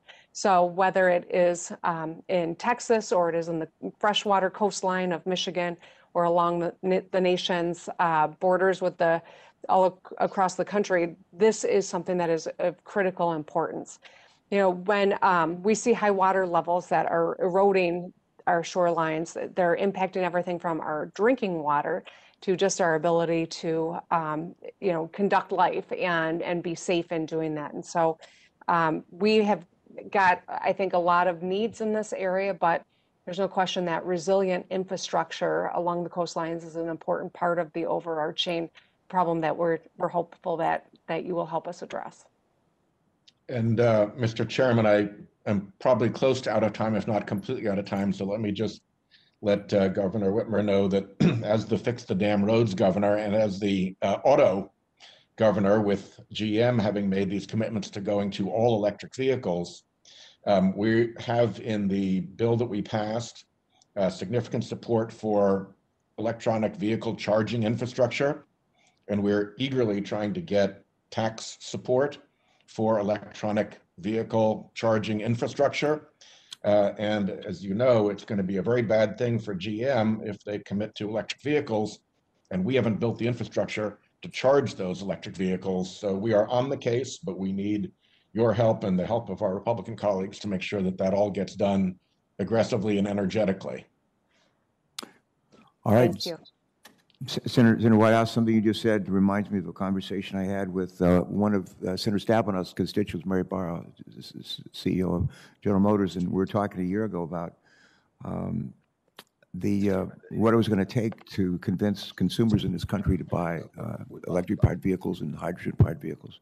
And she said, with respect to EV, she said, I need, we need three things to convince our customers to buy them uh, if we're going to build them.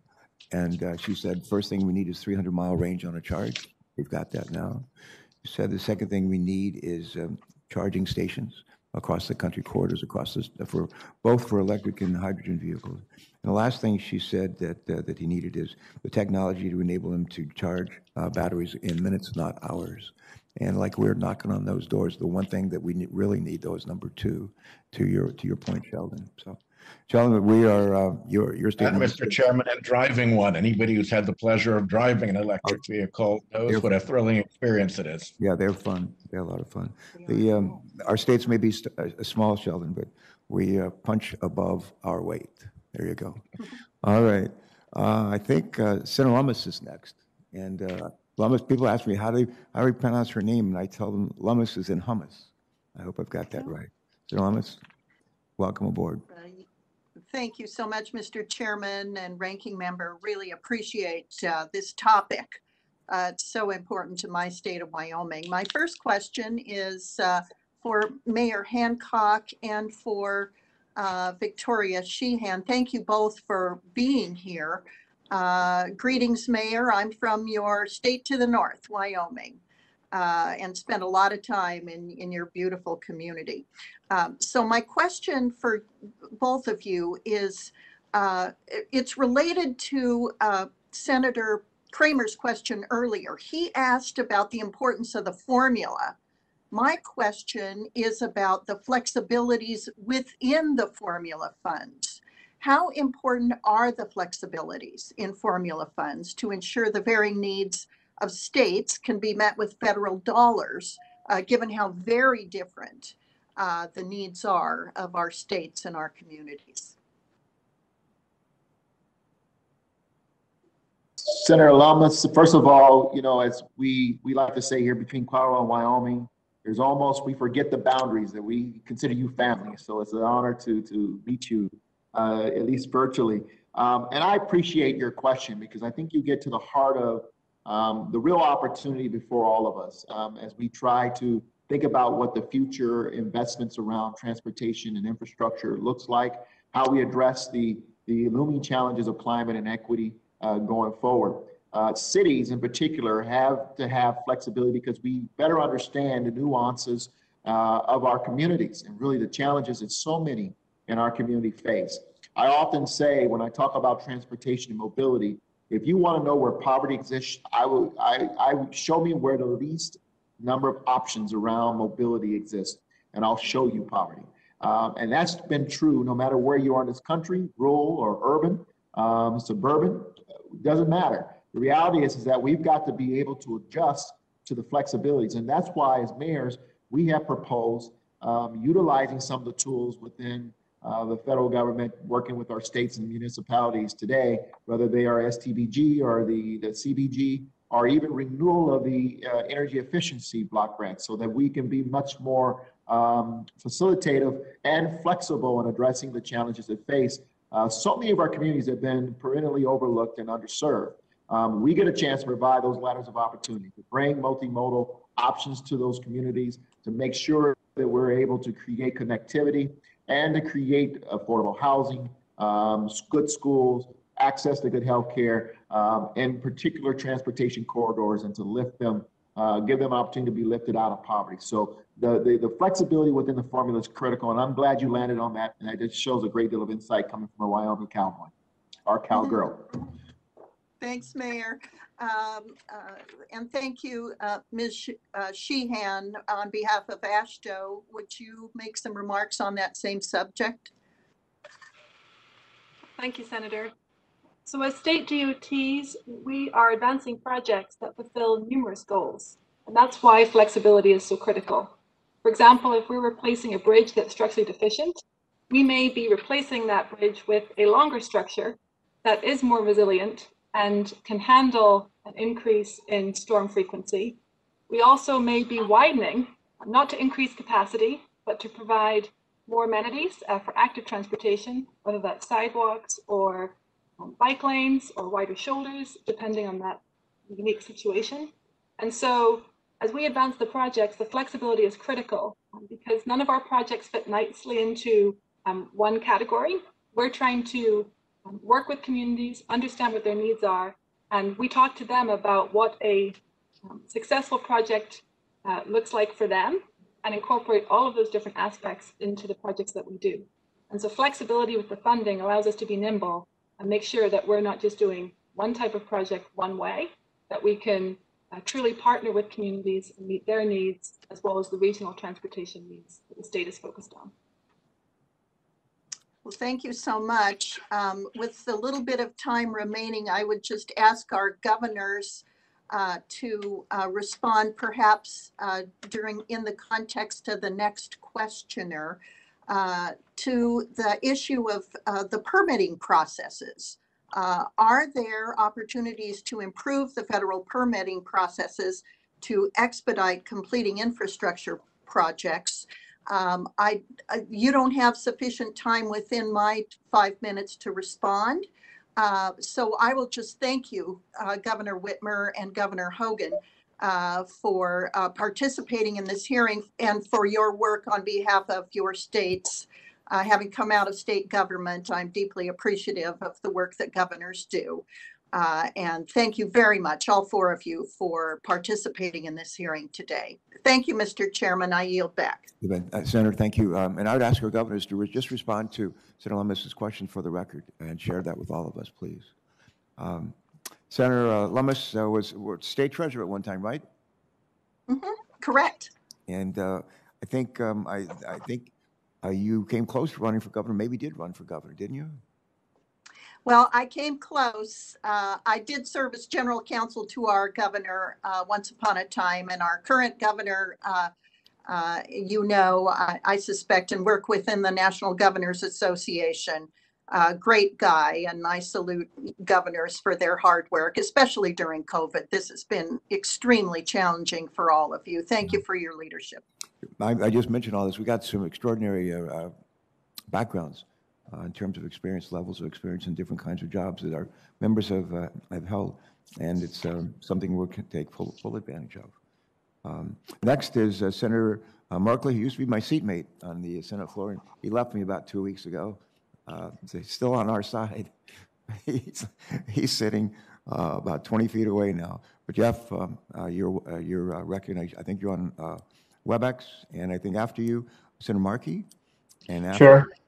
After uh, Senator Markey will be Senator Duckworth, Senator Stabenow, uh, uh, and maybe Senator Kelly before Senator Stabenow. I think uh, we'll, we'll, we'll figure out how to do that.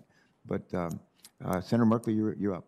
Thank you. Chair Carper, thank you very much. It's a pleasure to join you all. And I wanted to start uh, with a question to Mayor Hancock. I know that Denver last year enacted its EV action plan, which uh, addressed in part uh, charging infrastructure.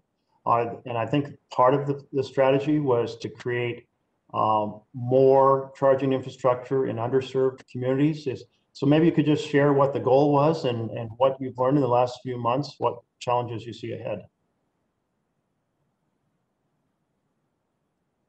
Thank you, Senator, and I appreciate your question. The EV action plan was about uh, exactly as you're alluding to the, the proliferation of charging stations around the city, uh, with particular focus on communities uh, to bridge the, the challenges around equity. Uh, we did a couple things. One, we changed our zoning code for any new buildings and housing units would have charging stations available to them, or at least the charging infrastructure would be available uh, for, for the creation of that. But we also, as a city, started looking at our public facilities, uh, our parks, um, our recreation centers um, that we own, and began the process of funding um, it- this installation of charging stations. We have it already at our airport, for example, uh, but these facilities that are much more readily available to underserved communities uh, would be available to them as well, uh, as well as uh, at our meters, some of our meter stations or our meter uh, locations around downtown Denver or wherever meters are located. We would also have some charging stations available to that. So we began in the last uh, 18 months to two years, began the process of rolling out that infrastructure, making appropriate investments. Uh, we are really beginning the process of ramping up more of that, but we are making progress under that. I can get back to you in terms of the, the actual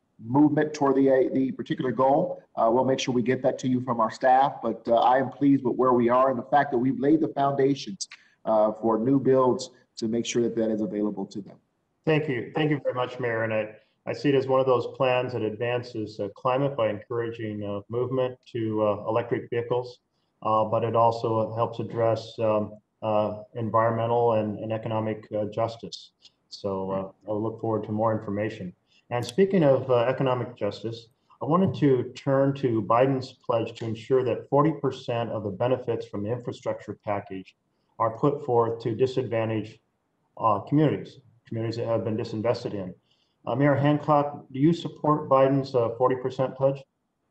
I do, and I think if you look more closely at a lot of the, on the local level, a lot of us, the cities are already focused on doing exactly that. Um, uh, we have in Denver a new equity strategy. I opened up a new uh, a sustainability office of sustainable, equitable uh, innovation and sustainability to make sure that we are advancing the goals of equity in everything that we do, including our contracting. Of course, we must do disparity studies to demonstrate the underserved uh, and the underutilization. Uh, but we are absolutely committed to that, and I think uh, President Biden's goal is right on target. Thank you. I wanted to ask the same question of our other colleagues, but uh, to just get a very short response because so I can move forward to another question. But Governor Whitmer, do you also support the the 40% uh, dedication to disadvantaged communities? I do think that it's important that we have equity built into all of these policies. And what we have seen in transition is that that hasn't always been the case and communities have been left behind. And so this is something that I think is crucial in our deliberations and should be embedded in the policy work that, that comes out on this front and, and frankly, many others.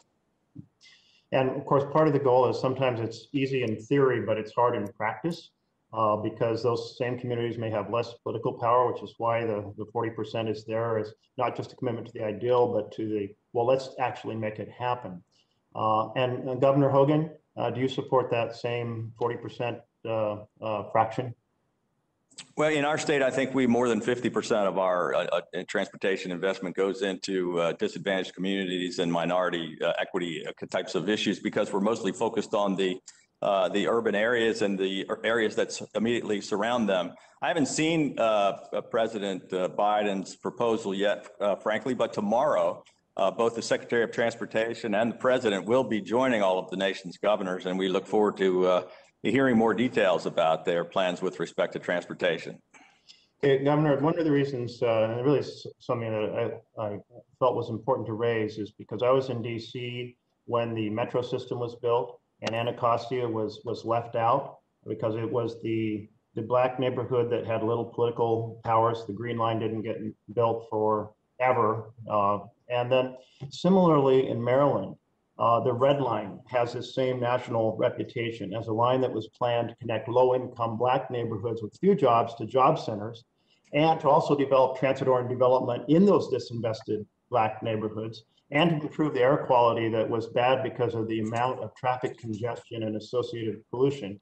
And, but that is a project you chose to cancel and put the funds instead in predominantly white communities. So would a 40% pledge like this help fund projects, make sure projects like the Red Line in Baltimore actually happen uh, to serve such disinvested communities? Well, uh, Senator, I would, I would totally disagree with your uh, assertion for a number of reasons, but we don't have time to uh, debate that here this morning. Uh, the red line, according to the Washington Post editorial board, never made any economic or transportation sense. Uh, it- it- our transportation department recommended against it. But we did move forward on the purple line, which goes through Prince George's County. It's uh, 16 stops in minority communities and ties uh, ties into the metro system, which I came up with a funding stream to uh, to try to keep uh, functioning when there wasn't enough federal investment. Well, it sounds like you. On do that, on that point, I think we're going to have to. We're out of time. Conclude. Yeah, thank, uh, thanks for those uh, questions, uh, Senator Markey, and for the responses as well. Uh, Senator Markey, um, you're up, my friend. On Uh. Thank uh, thank you, uh, Mr. Chairman, very much, and uh, thank you to our great panel, which is joining us today. Um, We're obviously at a a crossroads in terms of our relationship with um, greenhouse gases and the impact they have upon uh, minority communities, communities of color, uh, historically disadvantaged communities, uh, and uh, and the role the United States must play uh, in finding the solutions and uh, and exporting those solutions around the rest of the planet. So th- that's why this hearing is so important. And obviously, governors play a huge role, mayors play a huge role uh, in helping to set the, the course for where we have to go. Uh, we have to think big. We have to act big. We're running out of time uh, to deal with the um, with the climate change crisis, uh, and the transportation sector is uh, a central part of the solutions. Um, so uh, I, I've introduced uh, a, a bill called the Green Streets Act uh, with Senator Carper um, that will and, and other members of the committee. Uh, and that bill would require very strong standards uh, to reduce greenhouse gas emissions and vehicle miles traveled for transportation planning and projects. And I'm also uh, introducing today the Freezer Trucks Act to help replace diesel powered refrigerated trucks with cleaner electric um, versions in overburdened communities as well. In Massachusetts, in Chelsea, Massachusetts, which is our poorest community, we have diesel trucks just idling all day long uh, near the most uh, uh, vulnerable communities that already have the highest levels of asthma and the highest levels of coronavirus because of their uh, obvious pre-existing uh, vulnerability uh, because they're both lung diseases. So Governor Whitmer, can you can you talk about the future, you know, uh, as you see it, of the, the new announcement by General Motors and other autom- automotive companies to move to 100% electric vehicles by 2035, uh, what that might mean in terms of uh, this partnership that we can have with the states to ensure that we telescope the time frame to reach a day where we have a new fleet, jobs are being created by the millions, and at the same time, uh, we're making sure that those who are most vulnerable are being. Absolutely. Senator Markey, it's good to see you, and I'm, I appreciate the question. And um, I'm going to have to pre-apologize for, this will have to be my last question. I've got to go give my uh, press conference on, on our updates about what's happening in the state. So I'm glad for an opportunity to ask, answer this question, though.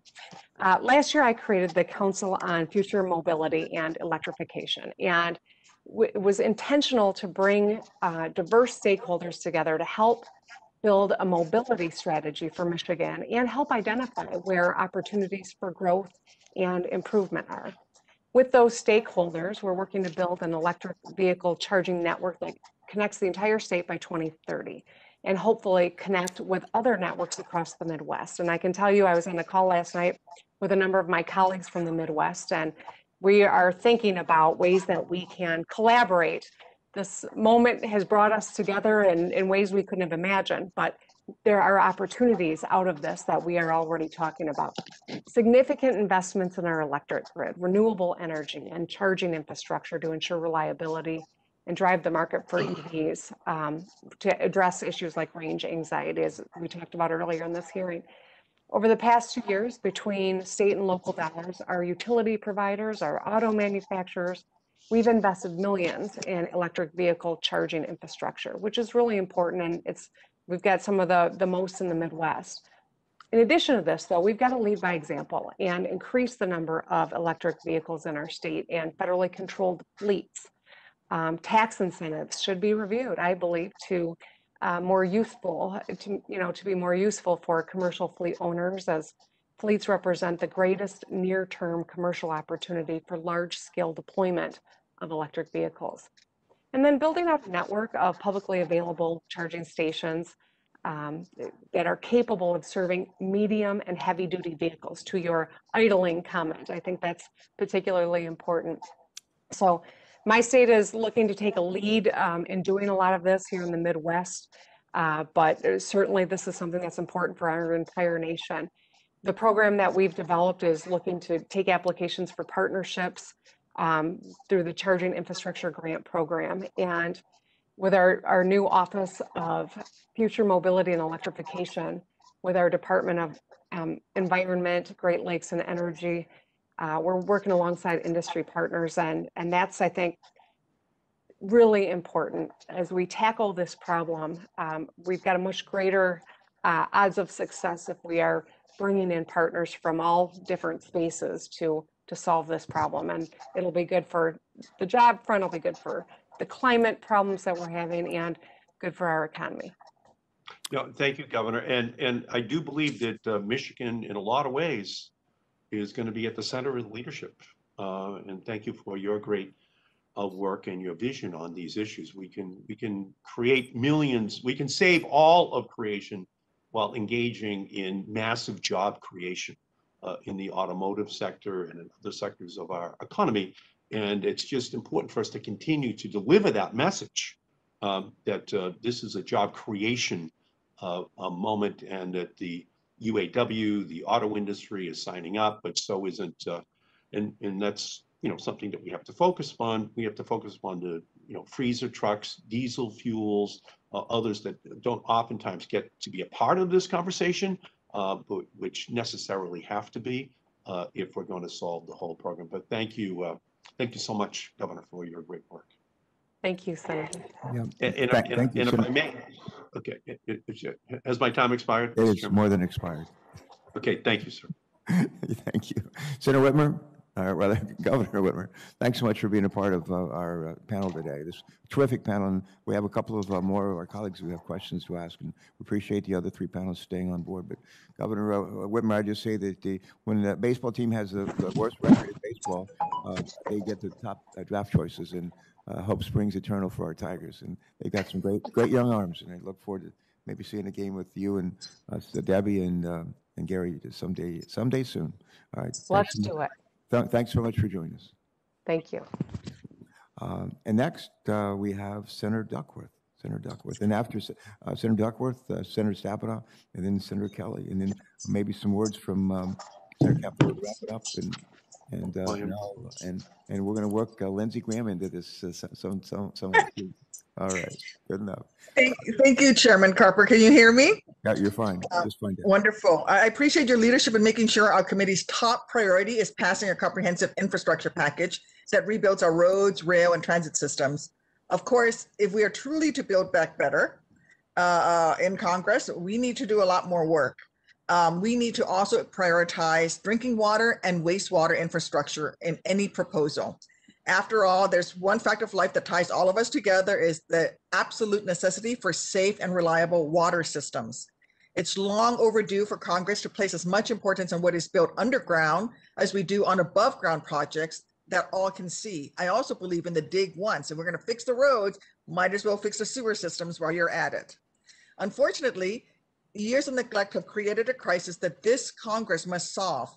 EPA estimates that to deliver safe drinking water to every household in America, we would have to invest half a trillion dollars over the next 20 years to maintain or upgrade our pipes, storage tanks, and treatment facilities.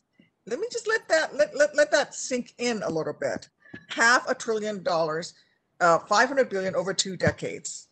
Um, I have a two-part question. Um, I, I would like to also send this to Governor Whitmer, but um, uh, Governor Hogan, I hope that you'll be able to um, uh, address this issue first.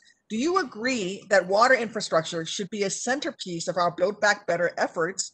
And second, could you discuss how robust federal investments in state and local water systems would help create jobs, foster economic growth, and most importantly, protect the health and safety of your constituents?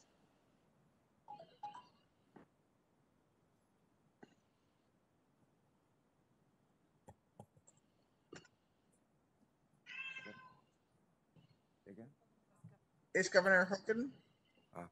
Uh, Senator Duckworth, uh, Governor Whitmer had to, to leave for another event, and so she. No, I knew. Yes, I was saying that um, if Governor Hogan could also address it. Oh, that's great, okay. Governor Hogan, you're, you're batting cleanup here. It was really to both governors. Okay, Governor Hogan, are you there? Earth calling Governor Hogan. I can go to Mayor Hancock. I have a question for Mayor Hancock as well. All right, let's do that. Thank you. All right. Uh, Mayor Hancock, it's estimated that Chicago drivers lose 138 hours each year due to congestion, a tremendous loss of productivity that I'm confident is also experienced in communities across our nation. That is why one of my top priorities is making sure our forthcoming reauthorization proposal treats reducing roadway congestion as the national priority it is for the millions of Americans who are stuck driving to work every day.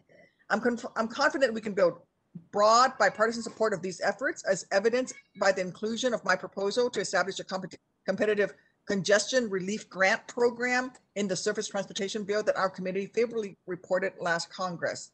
Mayor Hancock, can you explain how authorizing a congressional relief grant program would help local governments like Denver advance innovative roadway congestion solutions? Thank you, Senator Duckworth, and uh, appreciate your question. Yeah, I believe that, you know, with regards to people taking other modes of transportation, you have to offer, um, you know, just as many or more uh, competitive driving options or options for them than driving alone. Um, our single occupancy rate in Denver was over 73%, and that is just unsustainable in a city that was growing as fast as the city of Denver. So it is important that we offer options that give them the reliability, the predictability, and of course, cost um, and efficiency as well uh, for them to choose different modes of transportation or to have multi uh, occupancy within a vehicle or uh, multi occupancy in a mode. Uh, there should be focused on uh, different modes and options for, for municipalities rather than simply building highways or streets. And that's why we're focused in Denver on things such as bike lanes and transit um, and, and other uh, modes that move people, moving people and not just vehicles. And so we absolutely agree with what you found in Chicago and recognize that until we get serious about that, uh, we will never, in terms of creating options that make sense for people uh, that are just as competitive in driving alone, uh, we won't be able to break through on this challenge of congestion. Thank you, Mr. Mayor. Um, Mr. Chairman, I'd like to go ahead and uh, submit my previous question for the record for the for the uh, two uh, governors. Um, they can answer in writing. Thank you. Yeah, that'll be fine. I'm happy to do that. Thank you. A- any uh, any other comments, questions, Senator? No, I yield back. Thank you. Thank, thanks so much for joining us today. We've also been joined by Senator Lindsey Graham, uh, who uh, uh, I know from experience has a, a, real interest in some of the issues that we're talking about here today, even though he was not a member of the committee, goes way, way back years ago. And Lindsey, we were happy you've joined us and, and, and welcome. You're uh, recognized and will be followed by Senator Stabenow, Senator Kelly, and last but not least, Senator Padilla. Okay. Well, thank you, Mr. Chairman. I look forward to working with you and uh, Senator Capito. This is, uh, you know, this is should be the most bipartisan committee because we all need roads and bridges and all that kind of good stuff. So I'll make a comment, then I'll ask a question. I think we've got a high, highway trust fund shortfall, increasing gasoline taxes, maybe a necessary idea. But what I want to share my thoughts with the committee is about the future. Uh, our friends in Michigan, they tell me that most cars being made in the future are going to be electric, not gasoline driven. So G General Motors said by 2035 they will do away with their uh, gasoline operated vehicles. That is a major societal change. So whatever we do with the trust fund, we need to capture the fact that most cars by the middle of the century, by 2050, probably won't run on gasoline. That'd be good for the environment, but it will certainly uh, require us to put new infrastructure in place and redesign the trust fund. So what I'd like to do as we try to reauthorize the current system is to put some money aside to develop uh, the infrastructure of the future. I think drones are going to be more available when it comes to transporting um, material. I think trucks are probably going to be not just electric, maybe hydrogen vehicles uh, in, in terms of long haul trucking. Um, so the bottom line is if it's true that the gasoline driven car is going to be less plentiful on the road by the middle of the century, and maybe the dominant mode of transportation will be something other than gasoline, we need to start now redesigning the trust fund. And we need to start now plowing money into infrastructure consistent with a new way of uh, transportation.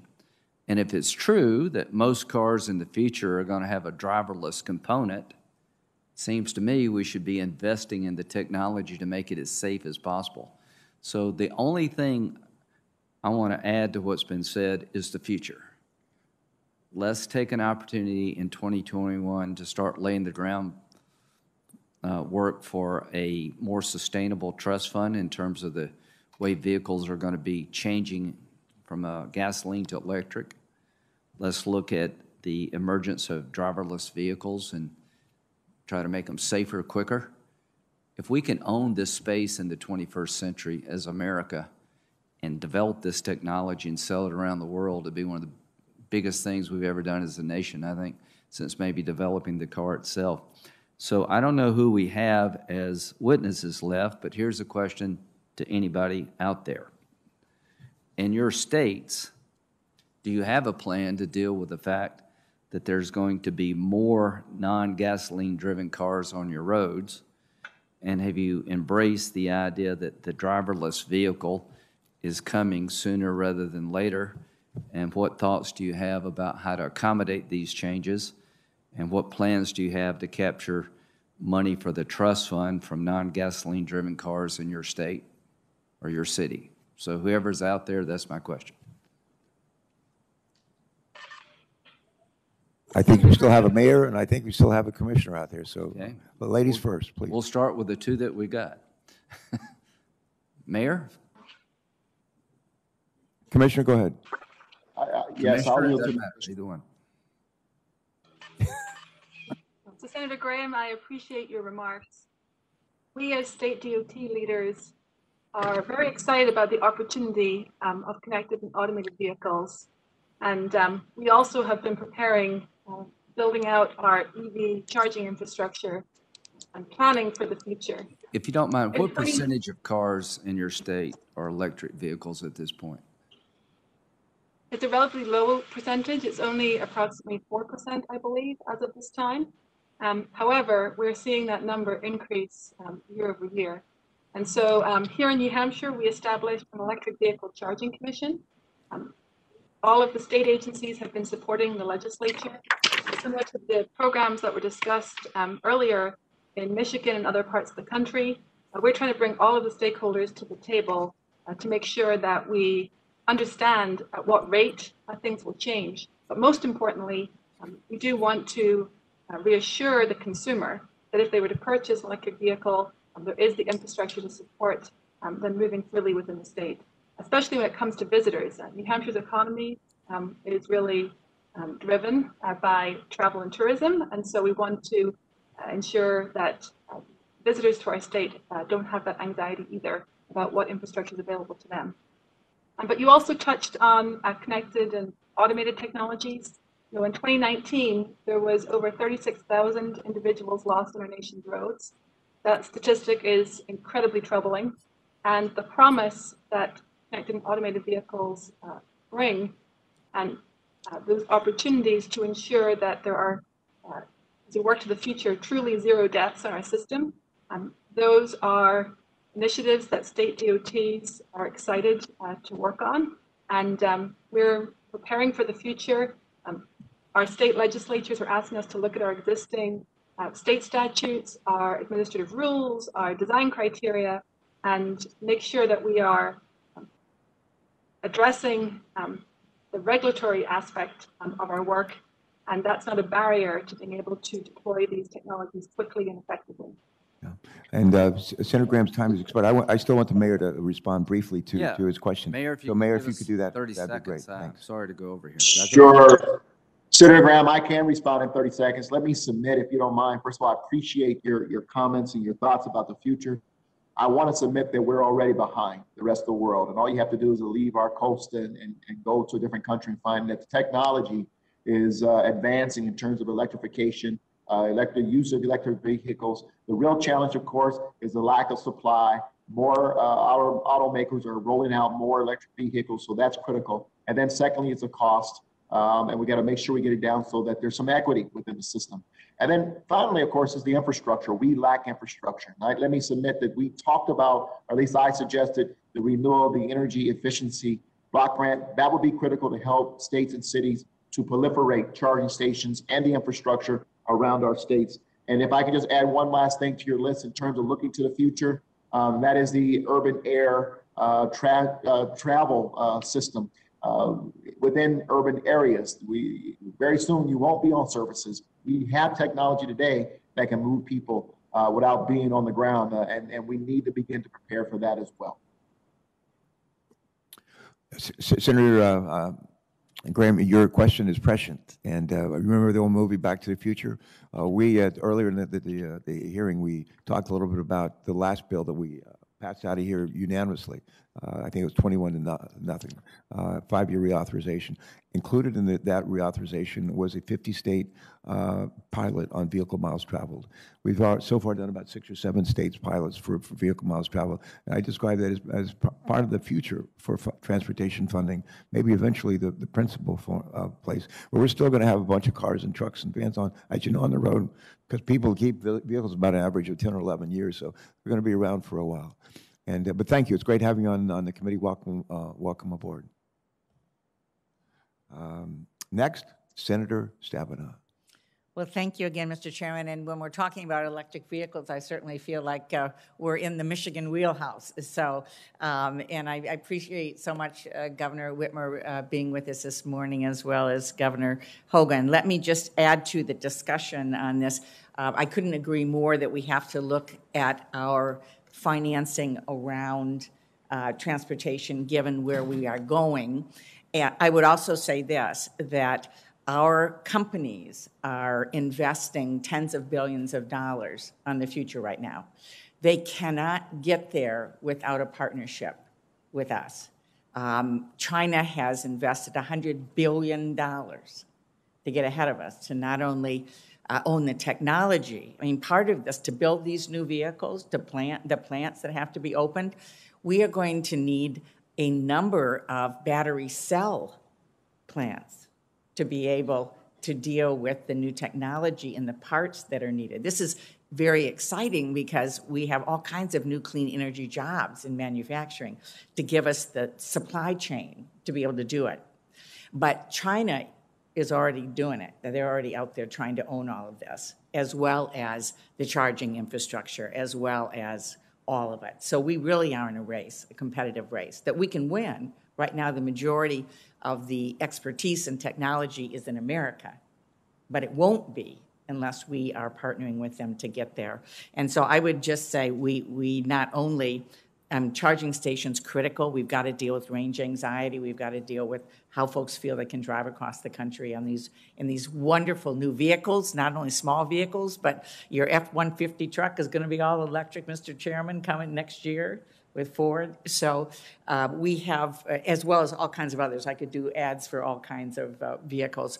Uh, but the other thing I would say, until we get uh, the, to the price point for consumers as well. The consumer uh, tax credit that we have had in place that is now running out needs to be uh, continued for a piece of time until we get the volume up. It's like any other kind of technology. Till there's enough purchasing power, um, you don't see the price go down. So electric vehicles, the, the, the cost points, and having the supply chain to be able to do this.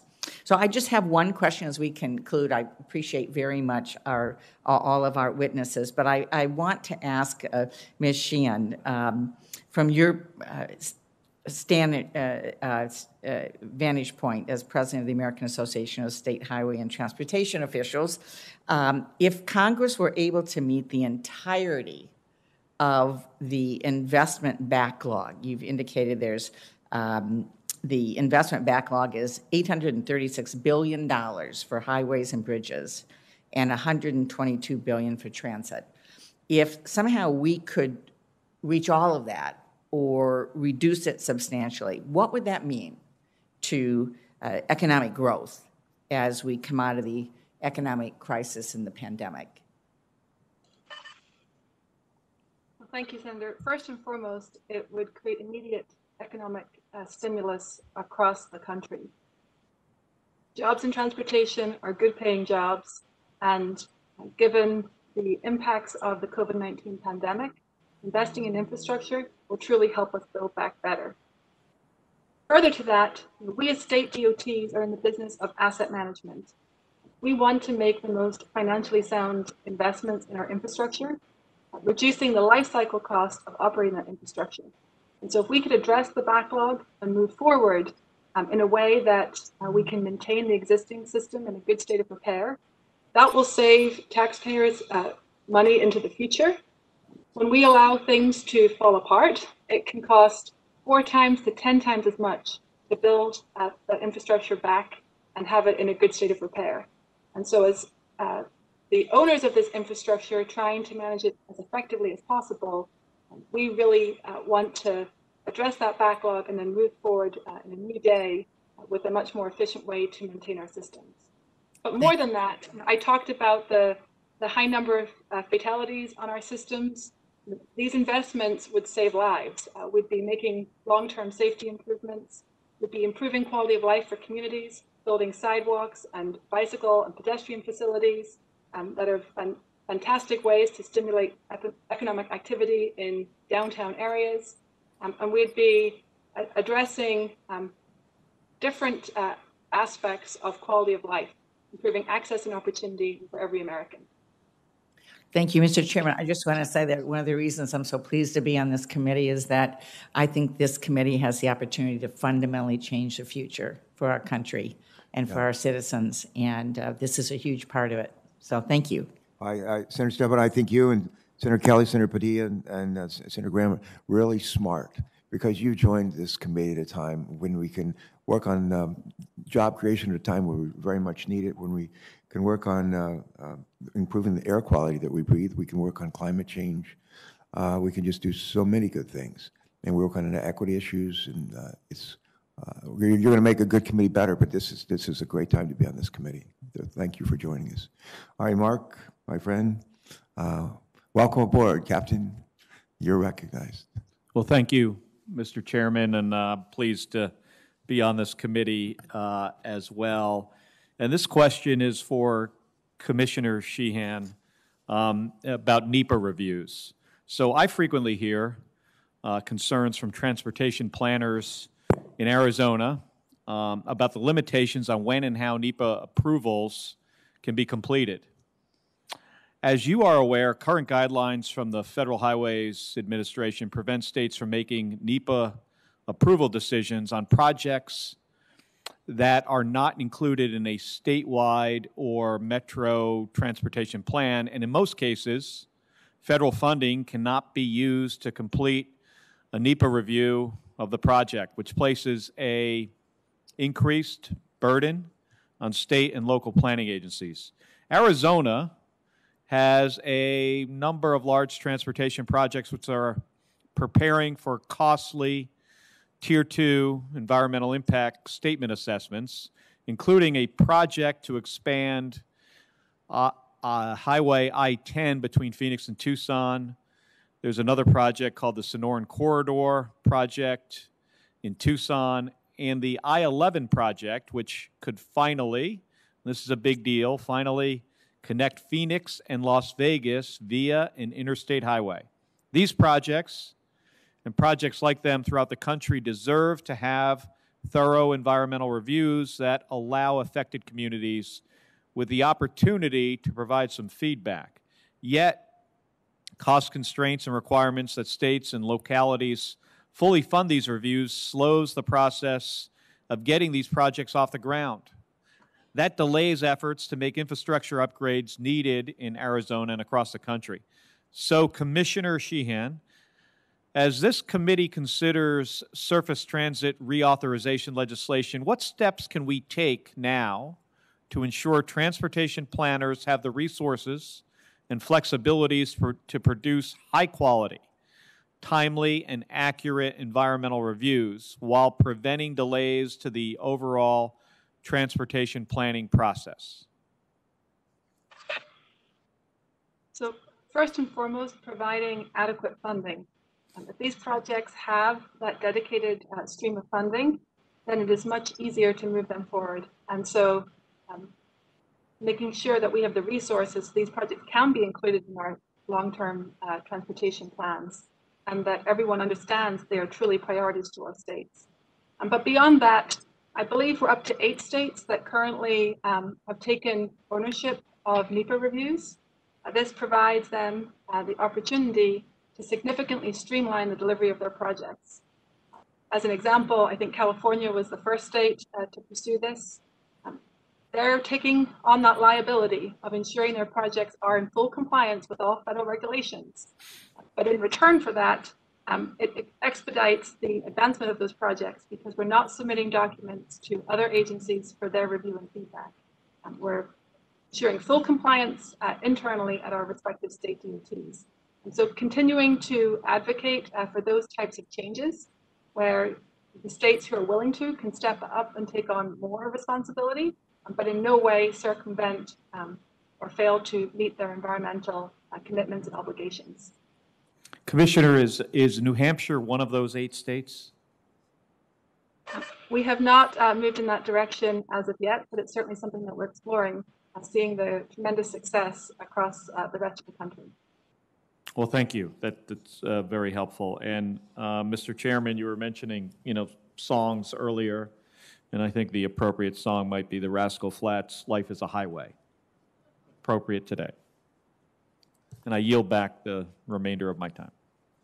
All right. Always great to hear the Rascal Flatts. That's good. All right, uh, Alex, I think you're, you're on. Senator Padilla, new member from uh, California. Welcome. Thank you, Mr. Chairman. Does this make me the cleanup hitter? It does. You know. Thank you for uh, the welcome to the committee. Uh, eager uh, for a lot of great work to be done this session. Uh, I'll, I have two related topics I want to touch on. So if uh, I may, Mr. Chair, I'll get through both questions and uh, acknowledge who they're addressed to, and then sit back and hear the answers for both. first, on the topic of resiliency and disaster preparedness. Uh, it's not just uh, California's recent record wildfire seasons, plural, uh, not in a good way, of course, uh, but uh, severe flooding across uh, various parts of the country to recent events in Texas. We've seen in recent years how the climate crisis is leading to more dangerous and more numerous natural disasters. So as we work to address this reality, we must improve the resiliency of our roads, our bridges, uh, and our infrastructure writ large to adapt to and recover from extreme weather events. I know Governor Whitmer is no longer with us, but uh, uh, she, in her written testimony, spoke to many of the roads that were washed out due to recent floods in Michigan. So let me just address this question then to Commissioner Sheehan who also mentioned in her written testimony how uh, the department uses federal dollars to carry out a significant number of resiliency projects. I understand that AASHTO has supported recent efforts by this committee to improve system resiliency, including by expanding project eligibility for the National Highway Performance Program, the Surface Transportation Block Grant Program, and the Emergency Relief Program. So I would love for the Commissioner to touch on the importance of resiliency projects for planning and what steps this committee can take uh, in the upcoming reauthorization bill to support states' efforts to improve resiliency in transportation systems. The other question, uh, more related than you may think, uh, is for Mayor Hancock. Uh, while the national highway system connects cities and facilitates economic activity across the nation, its construction historically has been deeply destructive for many communities, particularly lower income communities and communities of color. The construction of highways through some neighborhoods has caused the displacement of predominantly uh, minority residents and in many cases fosters isolation from opportunity, heightened exposure to pollution, and chronic disinvestment. Mayor Hancock, in his written testimony, uh, spoke to concerns about equity uh, and equity considerations going into planning efforts and specific examples of not just Denver's experience in the past, but how Denver is now working in partnership with the state of Colorado to reconnect communities in the reconstruction of Interstate 70, which bisects the city. So we'd love for the mayor to speak to how this can serve as a model for reconnecting communities in other cities across the country. And once again, how the federal government can play a bigger role in supporting projects that uh, mitigate the detrimental impact of highways on historically disenfranchised communities. Thank you both. Thank you for the question, Senator. Um, As part of the development of our transportation asset management plans, uh, state DOTs are required to do a risk and hazards analysis.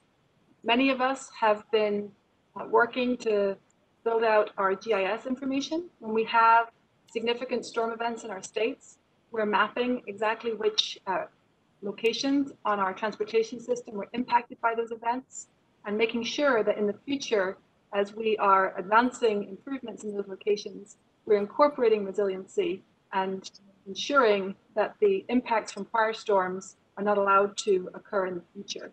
And so we've really integrated resiliency into every aspect of the work that we do. Um, from, from day one, when we're scoping a project, we're looking at that history of where we have um, seen significant impacts, especially from flooding, um, either in coastal areas or inland when we have significant rain events, um, and making sure that we build it back better. Thank you, Commissioner. Mr. Mayor? Senator, I'm sorry, with regards to your question around the I-70 project and of course the issues of equity, it was when the city of Denver got involved in this conversation about the I-70 project that we were able to bring um, to like the values of equity. This highway was placed, as you pointed out, in a primarily minority low-income community, dividing the community, creating barriers and lack of investment um, for the foregoing future. We had some options available, but none that would, um, you know, that were quite frankly feasible in going forward. So there was a few things that the city of Denver brought forward as a municipality who understood the challenges that this community faced, as well as the historical uh, actions of uh, environmental injustice. One was community engagement. FHWA said this was probably the model uh, effort around community engagement they have ever seen. And we're proud of that. But to engage the community, to hear the voice of people who live there, but also to understand the history was very important. Empowering the, the government, local government to engage. The, the, State Department of Transportation really helped us to, by allowing us, open us, open the door for us to be involved. We can bring forward the issues of, of uh, equity and, and opportunity. Connecting roads in that community that would uh, help provide new life of opportunity was also increasingly important as we moved in, as well as amenities. These were underserved communities. They didn't have access to parks. And as part of this highway project, we lowered it and we're capping it with a new park for the community that everyone can enjoy. And we are also building in, we built in some remedies to some of the environmental challenges, including pollution, but also flooding, helping to remedy the flooding, the historic flooding of these neighborhoods in a project called Platte to Park. And we, have, we, we merged two very important but very expensive infrastructure programs, including this project, to alleviate the, fun, the flooding of these neighborhoods that have been happening for hundreds of years um, and, and, and make it more, um, quite frankly, improve the quality of life of residents in the area. So the Platte to Park program was extremely important. And so making sure that you're engaging municipalities who have, again, a better understanding of, of, of the residents the challenges of equity, the environmental injustices that have occurred, and having created opportunities around connectivity and new renewed opportunities of investment was critically important on the I-70 project. Thank you both. Thank you, Mr. Chair. Senator Padilla, thank you for uh, some great questions there. I, am going to uh, yield now to uh, Senator Capito, and she'll uh, give some closing statements and then hand the gavel back to me. Yeah, thank you, Mr. Chairman. And I want to thank uh, our witnesses. I thought they were tremendous, gave us great insight and a broad uh, understanding of how many of these programs in, impact their communities, their states, and I appreciate, I know it's been a, a little bit lengthy for some. Uh, I also would like to call attention to the fact that we had almost unanimous membership here in our committee asking questions and engaging in this issue. And I think if you closed your eyes and, and didn't know who was asking the questions or from what party that person might be from, I, I think you see that there's a solidarity of interest and a, a, grand desire to, to really get something done together uh, in the, in the uh, surface transportation and infrastructure area.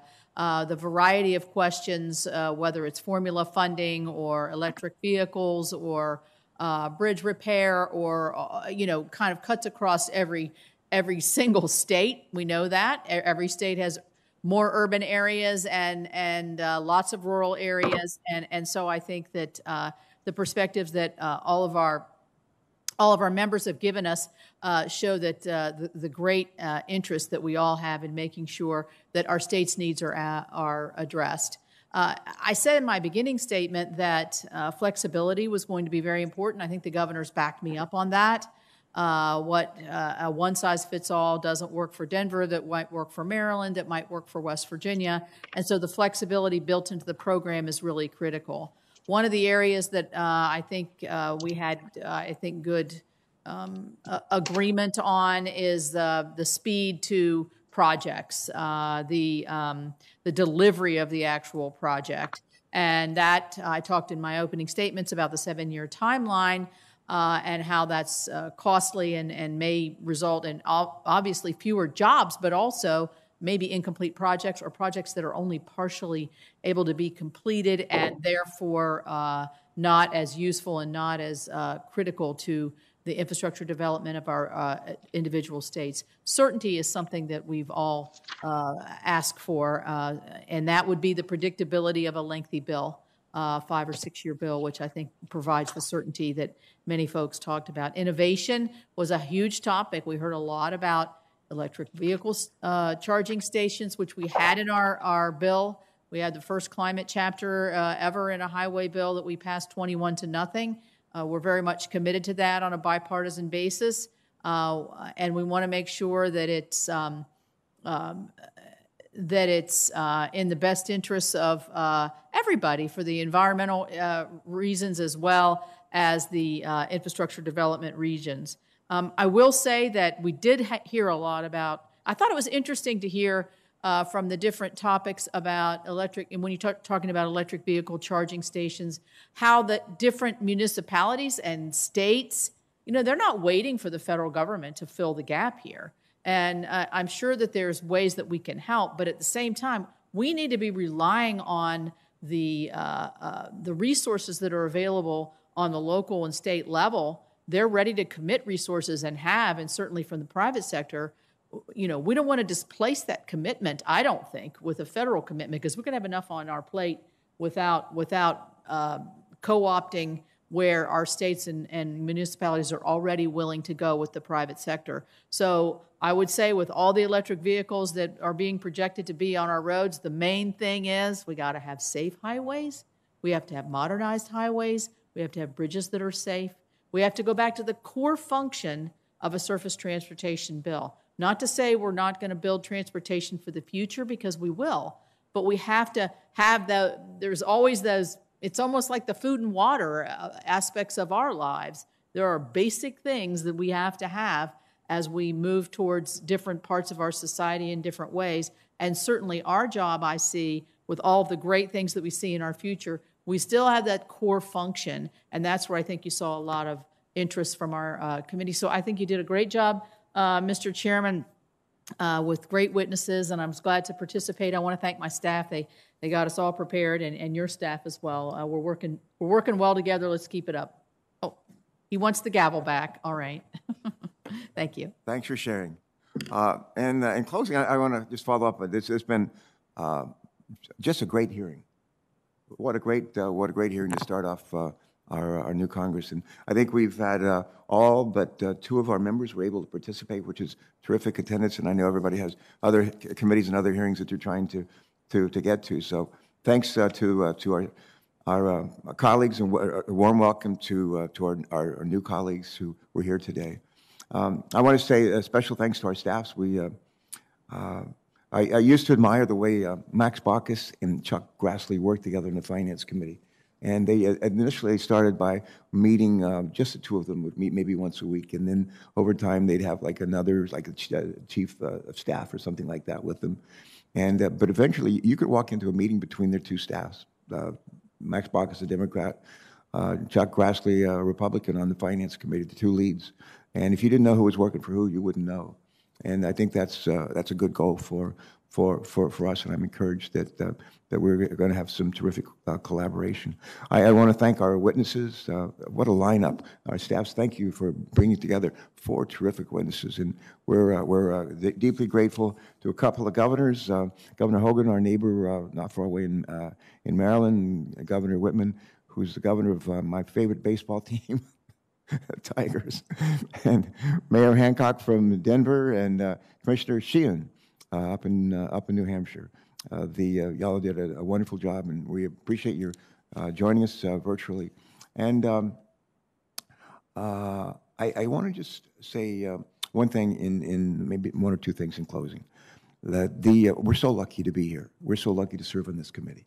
Of, uh, I, uh, I, I like to quote Einstein. Uh, Einstein used to say, in adversity lies opportunity. Plenty of adversity. I, I talked about it when we uh, began the hearing. But there's also opportunity here. And, and if we're smart about it and, and uh, we find ways to, uh, to collaborate and work together, we're going to uh, we're to rise to, to, the, to the occasion. I'm hopeful and, and encouraged that, that, that, we, that we will. American people are counting on us. And uh, I got out, I said earlier at the beginning of the hearing, I got off the train, Union Station, and walked up to the Capitol. The uh, sun was out. The, uh, the uh, Capitol was so beautiful. The Skies were blue, the sun shining in the Capitol. And I felt like morning in America again. And that's a good, uh, a good uh, note for us to, to, to, close on. We have a couple of uh, unanimous consent requests. And I would ask unanimous consent that um, to submit for the record a number of letters from associations focused on safety, electric charging, construction jobs, technology, and others. And they're all eager to see Congress get to work on infrastructure for the benefit of all the American people, and so are we. And uh, one other one, there's been a, a, fair amount of discussion on, uh, uh, and rightly so, on delay.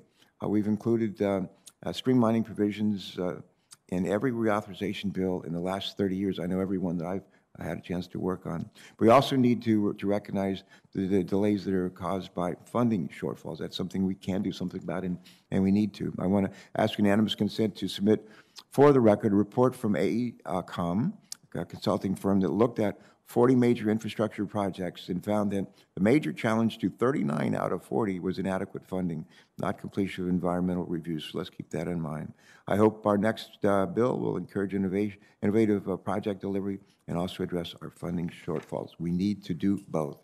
And let me just ask is there anything else that uh, we need? No? All right. I think we're ready for takeoff. Yeah, it's a good, uh, a good day. Thanks, everyone.